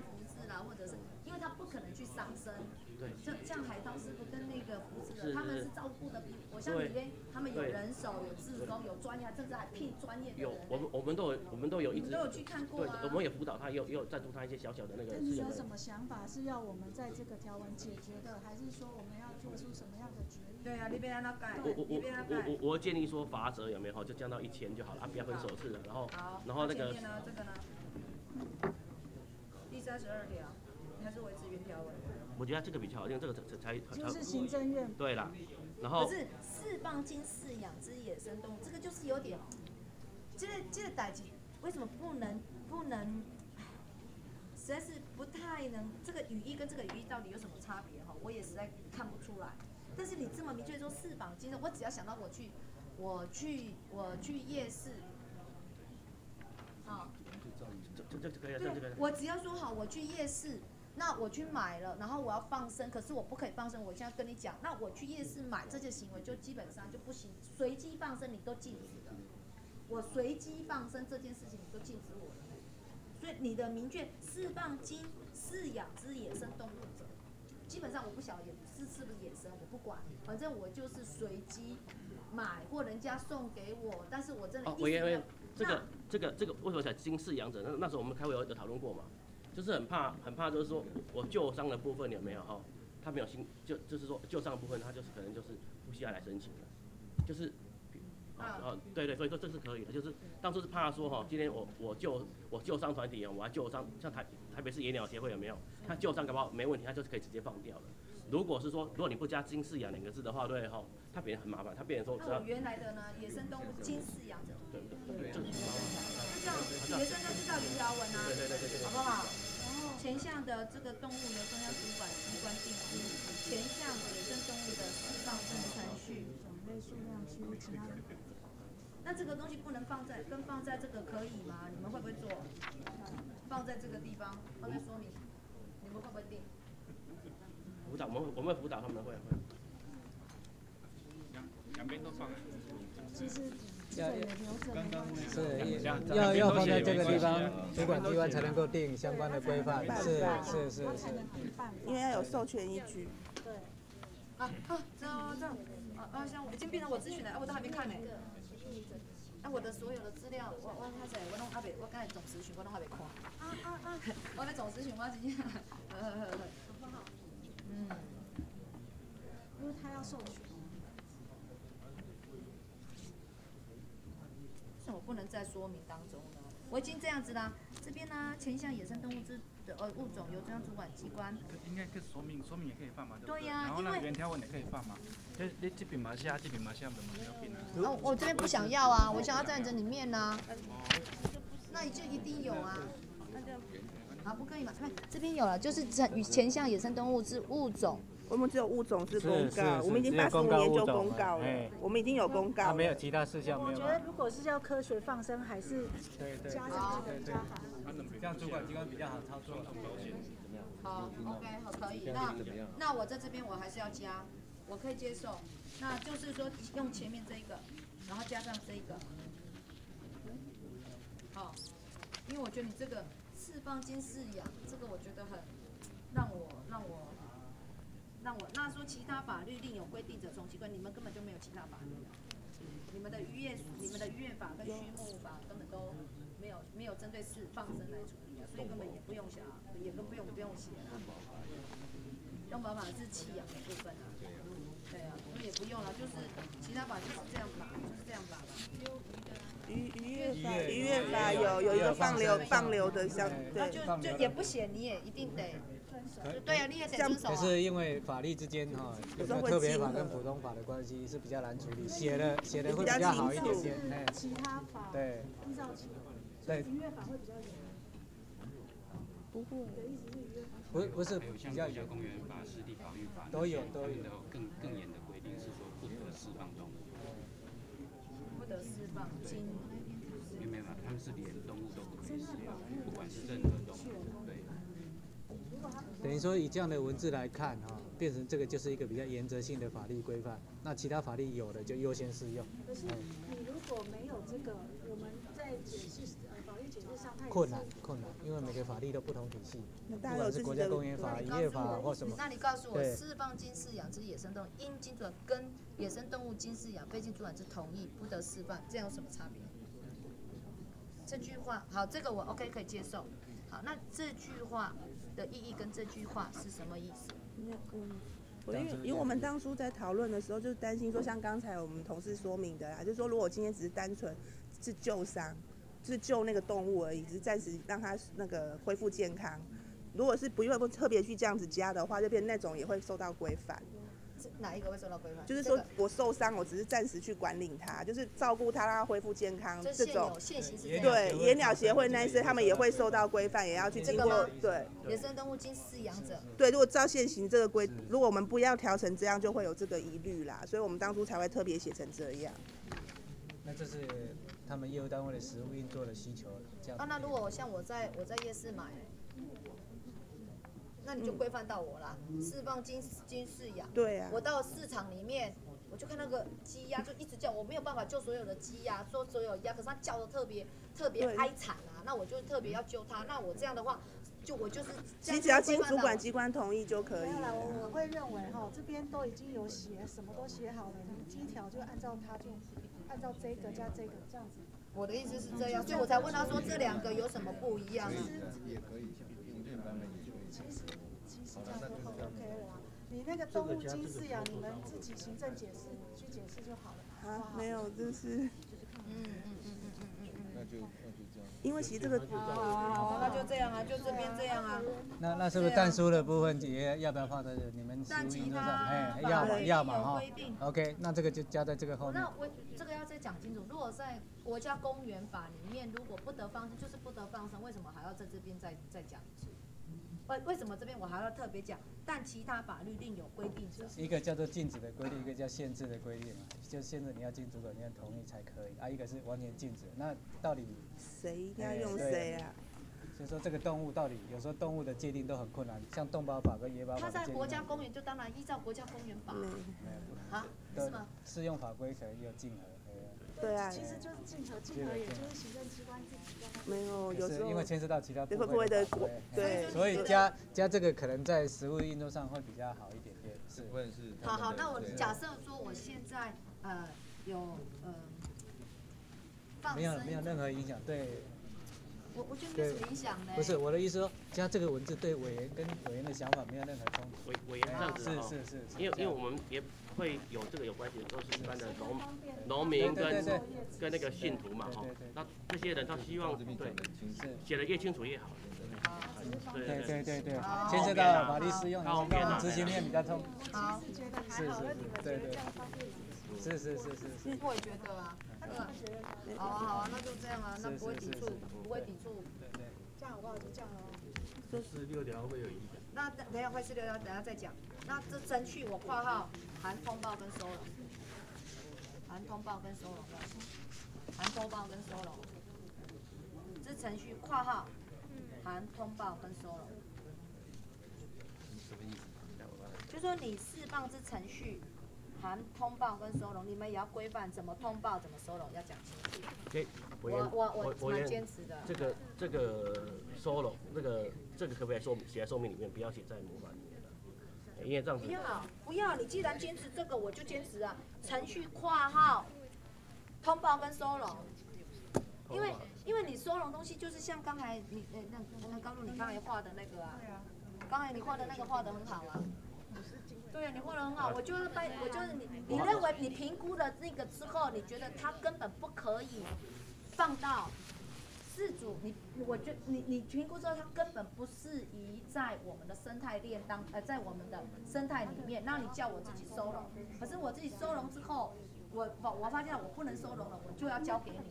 当然我知道你的意思是说会会打通了那个什么什么商业商业放生但这件事是你反。而去助长了这个事情。可是你的收容也可以去处理那个委托民间。对啊，跟委托民间啊，你这个我刚刚想的就是对委托民间就是收含啊、这个通报及公司力，好、收容机制。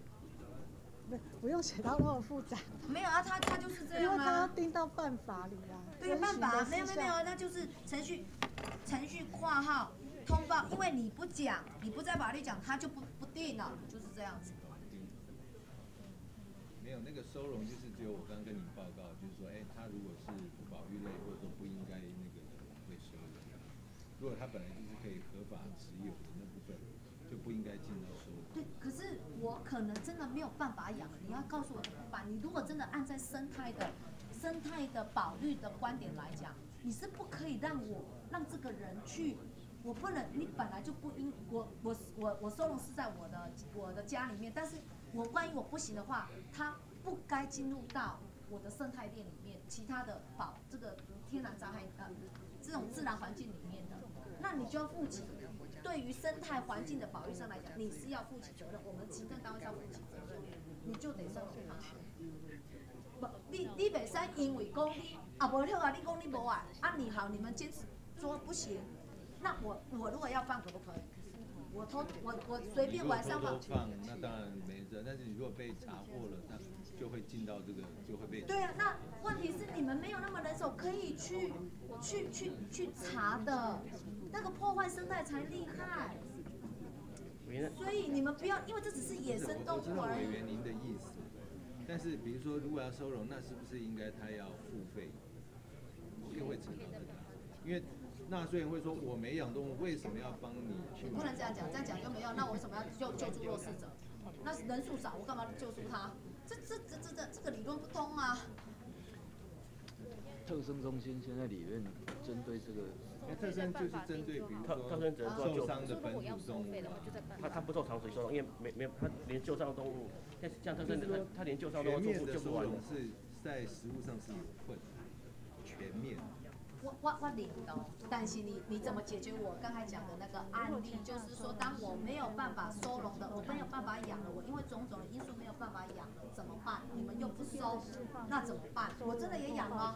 啊，或者是说我跟你讲说，我真的没办法养，那你就是任由我，你就说啊，那是你自主的责任，那个是经济作为我管养，我买了它，但是我现在没办法养，买买是赶快的艺术啊！结果不，这还是事主，总要从源头管理啦。但是我觉得，哎，这个那我们现在没有源头实物上我们真的有困难，全面性的时候真的是不可能做到，没有一个政府做得到。那我们真的跟委员很很切的。第外国嘛无这款的，无这款的那个说我还是因为当义务事主责任的机制的建立，每一个要养宠物的都要来跟政府登登记，而且要缴税。我公嘛是气这我刚刚你写在录音吗？没有没有没有没有。嗯，有点诚信哦，哈。哎，我们现在是没有录影。没有休息啊，对有录影还是有录影，只是没收音而已。有录影还是一样有啊，一样收监督啊。哎呀，只是我们这样对话有点复杂，所以还是大家这样私下讨论。不，这个也是讨论而已啊，这并不是。真的。所以你们就坚持程序括号通报跟收容，你们那个收容就是不要就对了。我我觉得要，我觉得要放进去才负责任啊，要不然你怎么可以把这个公就放到事主，后来的把收容放进去啊？啊，我我也要，不然这样子这样子好不好？因为其实我们野保法本来就是说这些动物我们本来就会有已经有那个义务了，那是不是说那个之前我也讲，我们是说如果我们委托，如果那个不要再定在这边了，我们那个是是有是就不要，因为我们其实本来也我们也保法本来就有什么义务有十四条嘛，就说这些动物我们就是有些动物我们要处理嘛，那你不要把它定到那么明嘛，我们还还是会处理啊。那是不是说你们不处理呀、你们局长刚才就讲，我们就是因为量的关系呀、所以那个自由新政太高了，不行。我真的是以我不要破坏环境，我才觉得你们要要有收容之责。我你跟徐焕嘛我刚才有跟委员报告，因为你说被改挖全面总咨询了吗？Hello，全面性的收容真的是又有人又回去了。全面性的收容真的。我没有叫你全面性的行动吧，野生鸟啊，拜托你们都扩大的、扩大的那个呢，扩大的。有啊，那所以我们现在有部分，比如说我刚刚讲的，它是保育类，或者说它不应该进来的那个，我们其实是有收的。哎，对，啊，这样就好了，啊，就是有啊，那部分有啊。对啊，啊我当但是你不能你不能拒绝说好我。他可以合法持有，他可以合法买卖的，他不是没有其他管道，那部分就不应该进来收容，去增加政府的负担。我感觉咱两个讲的是无共款的代志呢。我即马讲，我离我离，我还是一样。我怎样你的意思？你是我我找我就是到夜市去买了三只，我到市场那边哦，那个叫的特别可怜，那我就不要说那市场那个不对，因为市场是经济作物了。好，那不然就是说在在夜市啊，我就买了，我就买了，然后请我不可以，我就跟你通报，然后通报的时候你告诉我说你你这个是呃会破坏生态，是可以养的，但是你千万不能是会破坏生态的，所以你要自己养。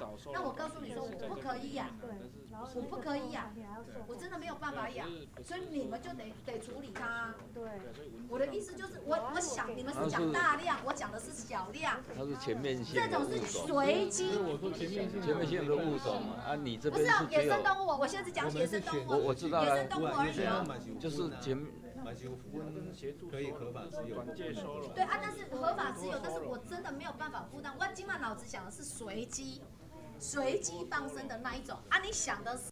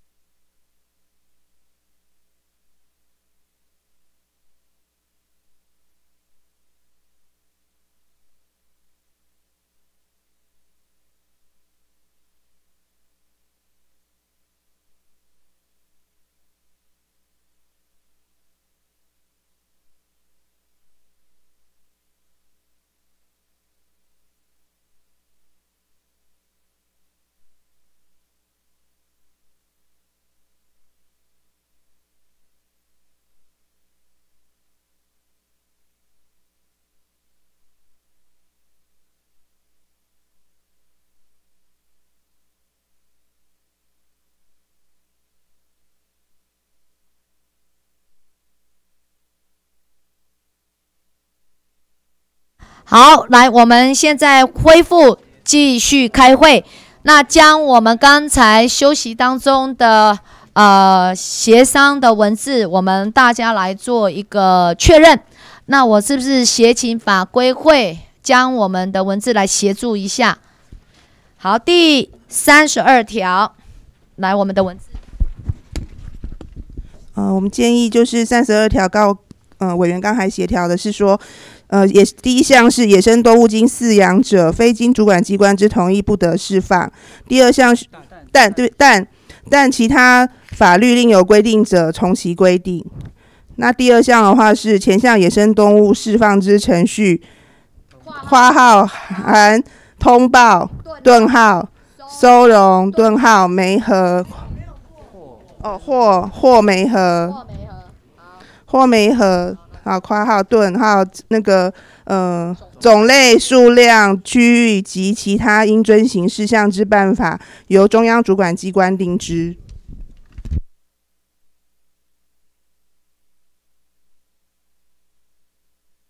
当中总是需要一些时间嘛，好，所以我的说明当中第二页，在这个如果在你们定定办法当中还没有出来的时候怎么办呢？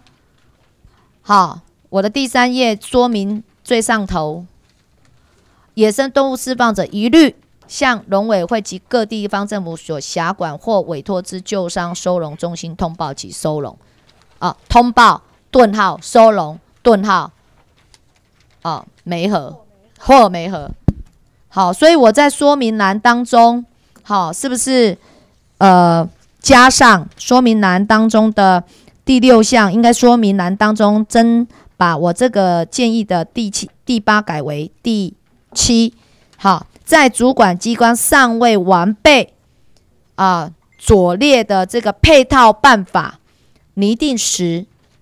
好，逗号，那就跟后面都一模一样。最后，好，一律向农委会的地方呃或呃委托之救伤中收容中心通报，顿号收容或没合。好，这样可不可以？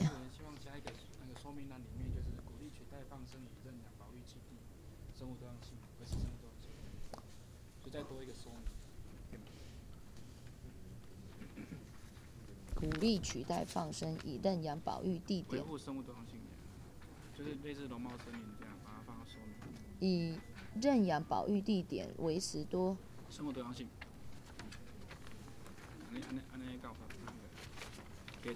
鼓励取代放生，以认养。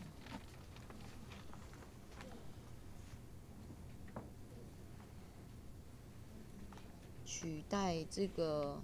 动物取代野生动物释放，这个应该算是认养，呃，就是说呢，认养，呃，以认养保育地点多种，这个是没有问题啦。但是我觉得不要说鼓励取代放生这件事情，取代放生这件事情，你是会抵触人家宗教信仰的，因为其实，在佛教当中很明确是鼓励放生，它的教义里面，所以我是觉得，我觉得可以后面就是说，你看要怎么写，就是说。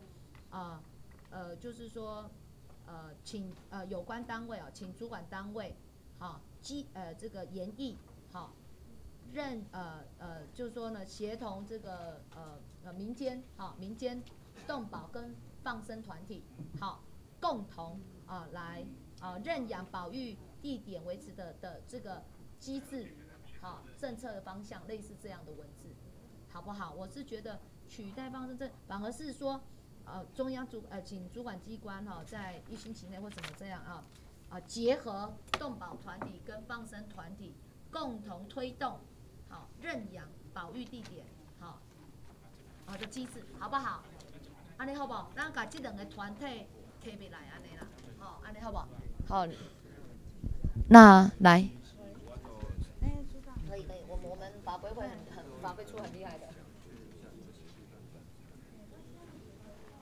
来，那我们再做增加第八项的，Hello，说明。好，来，好，我们第八，好，说明八，好，第三十二条的说明八，好，以陈曼丽委员的办公室这边哈，那我做一些文字的修正。好，就是呃，请中央主管机关呢、呃，研议协同动保团体与放生团体，好，推动认养保育地点。逗点维持多种，呃呃，维持生物多样性之呃这个政策，呃之政策，哈，就是请他们去维护政策，看要怎么做嘛。那看是只是政策上的行政作为就可以来协调，然后或者是说你们觉得要有一个什么办法，那那我没有意见，好不好？但是好，OK，好，这是第八，呃，说明八，好，说明再增加这个八。好，那第这样可以吗？我们可以吗？这样的文字，刚才的呃，我们法规会所念的这样的修容文字没有意见哈。那么照修正通过第四十六条。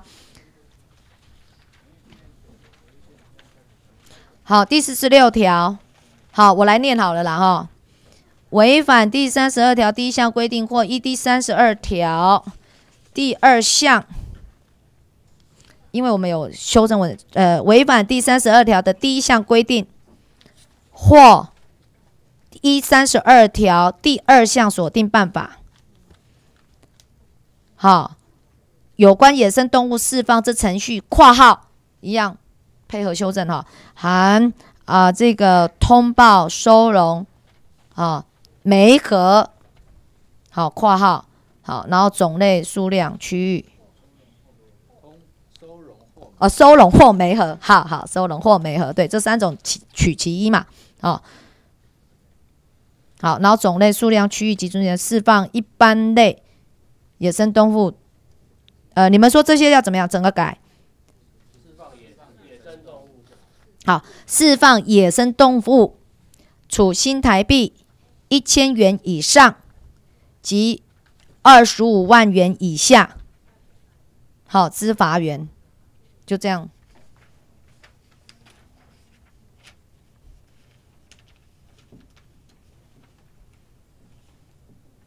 二百五十万还是二十五万？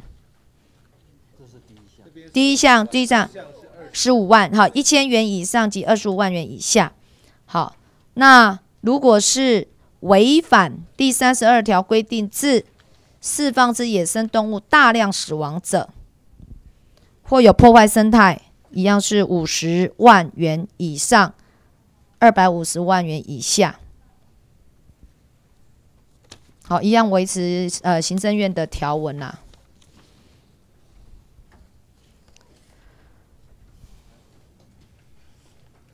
但是我觉得行政院的提案右边呐说明，我觉得要稍微做个修正。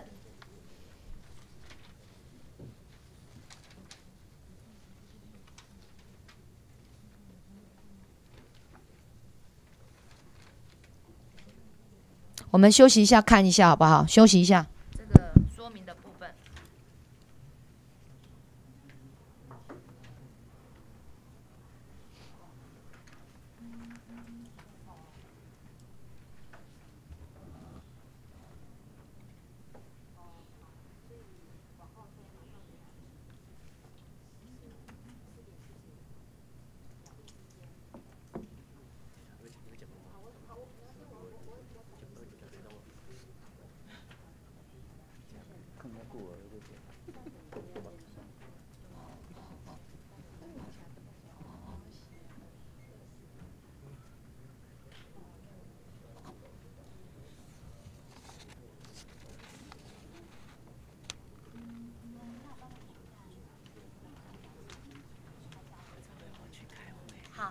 大方向都 OK 了哈，哎啊，那但是要有委员在才能算，才能哦不需要嘛哈，哦不需要了哈，好好好，谢谢。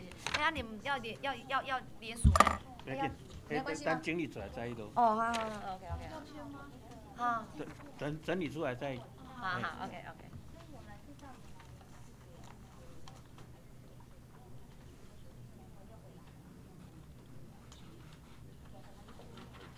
来，那个林务局来，你们。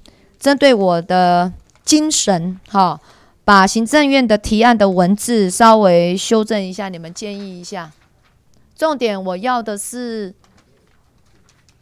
随意放生的部分，随意放生，好的呃善良的随意放生，好，那要有通报，我很在意这个通报啊，以及你们之后续好的收容跟媒合的机制，要怎么放到这个说明当中，然后一些对呃这个善良。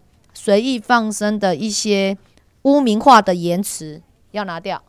那那个委员，魔法定的好很重要，那说明呢，我们回去改，好好的改一改，再给委员看过。因为临临时叫我们要，我们又不是中文系，没法一下写的嘛。那我们回去改一改，再再给再给委员看。好，那就是你们的说明栏全部拿掉，重新修正，好，重新修正，按照今，对对对。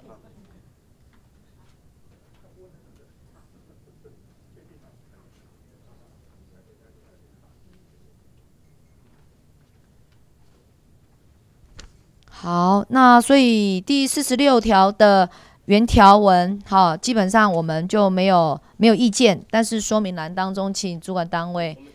所以，呃，现在是要怎么样？现在就是呃，意思的你那些人到哪签名嘛？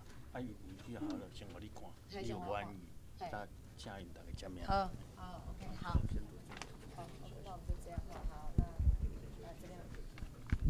好。那我们今天就是协商完竣，请议事人员邻居协商结论后，请各党团干部啊签名。但是我觉得这个说明啊，你要写一下，邻居请议事人员邻居协商结论。你无看了，你无签名，因后边拢未去签了。哦，好，请议事人员邻居协商结论后，请各党团。啊，干部签名，好，那针对第四十六条的说明栏，请主管机关就能够针对修正的条文文字做啊这个配合的这个文字修正。好，本日的协商到此结束，我们上啊。呃，主席，还有呃，虽然说这个野生动物保育法经过这样早上的一个呃协商，呃，达到有达到委员的一个共识了，但是从呃农委会的一个立场的话呢，我是觉得有两个地方呢，对我们来讲还是有一点，就是说。不易执行的一个地方了。那第一个大概就是我们呃花了很长的时间讨论的二十一条，二十一条啊这一个地方呢，也就是说准用农业天然灾害办法来救治这个地方呢，对我们来讲，我们仍然是以农委会的立场，还是要表示说这个地方事实上我们还是不容易执行了。那另外还有一个地方，也就是。啊，第五十一条之一的话呢，这一个属于保卫类的，处现代币两万以上，十万以就是十万元以下，要改成这个一千元到一万元啊，这个地方哦，那一千元这个我没有意见，但是这个一万元啊，从十万元调成一万元，这个地方对我们啊农委会来讲，我们还是比较坚持在十万元这个价这个地方呢，比较有一个遏制的一个作用哦。那针对这两个地方，我们农委会就是说认为说这两个地方还是我们啊坚持的地方。当然啊，委员的一个协调，我们当然很感谢这样的一个协调，那也通过。但是农委会啊也是一样要表达我们的一个立场哦。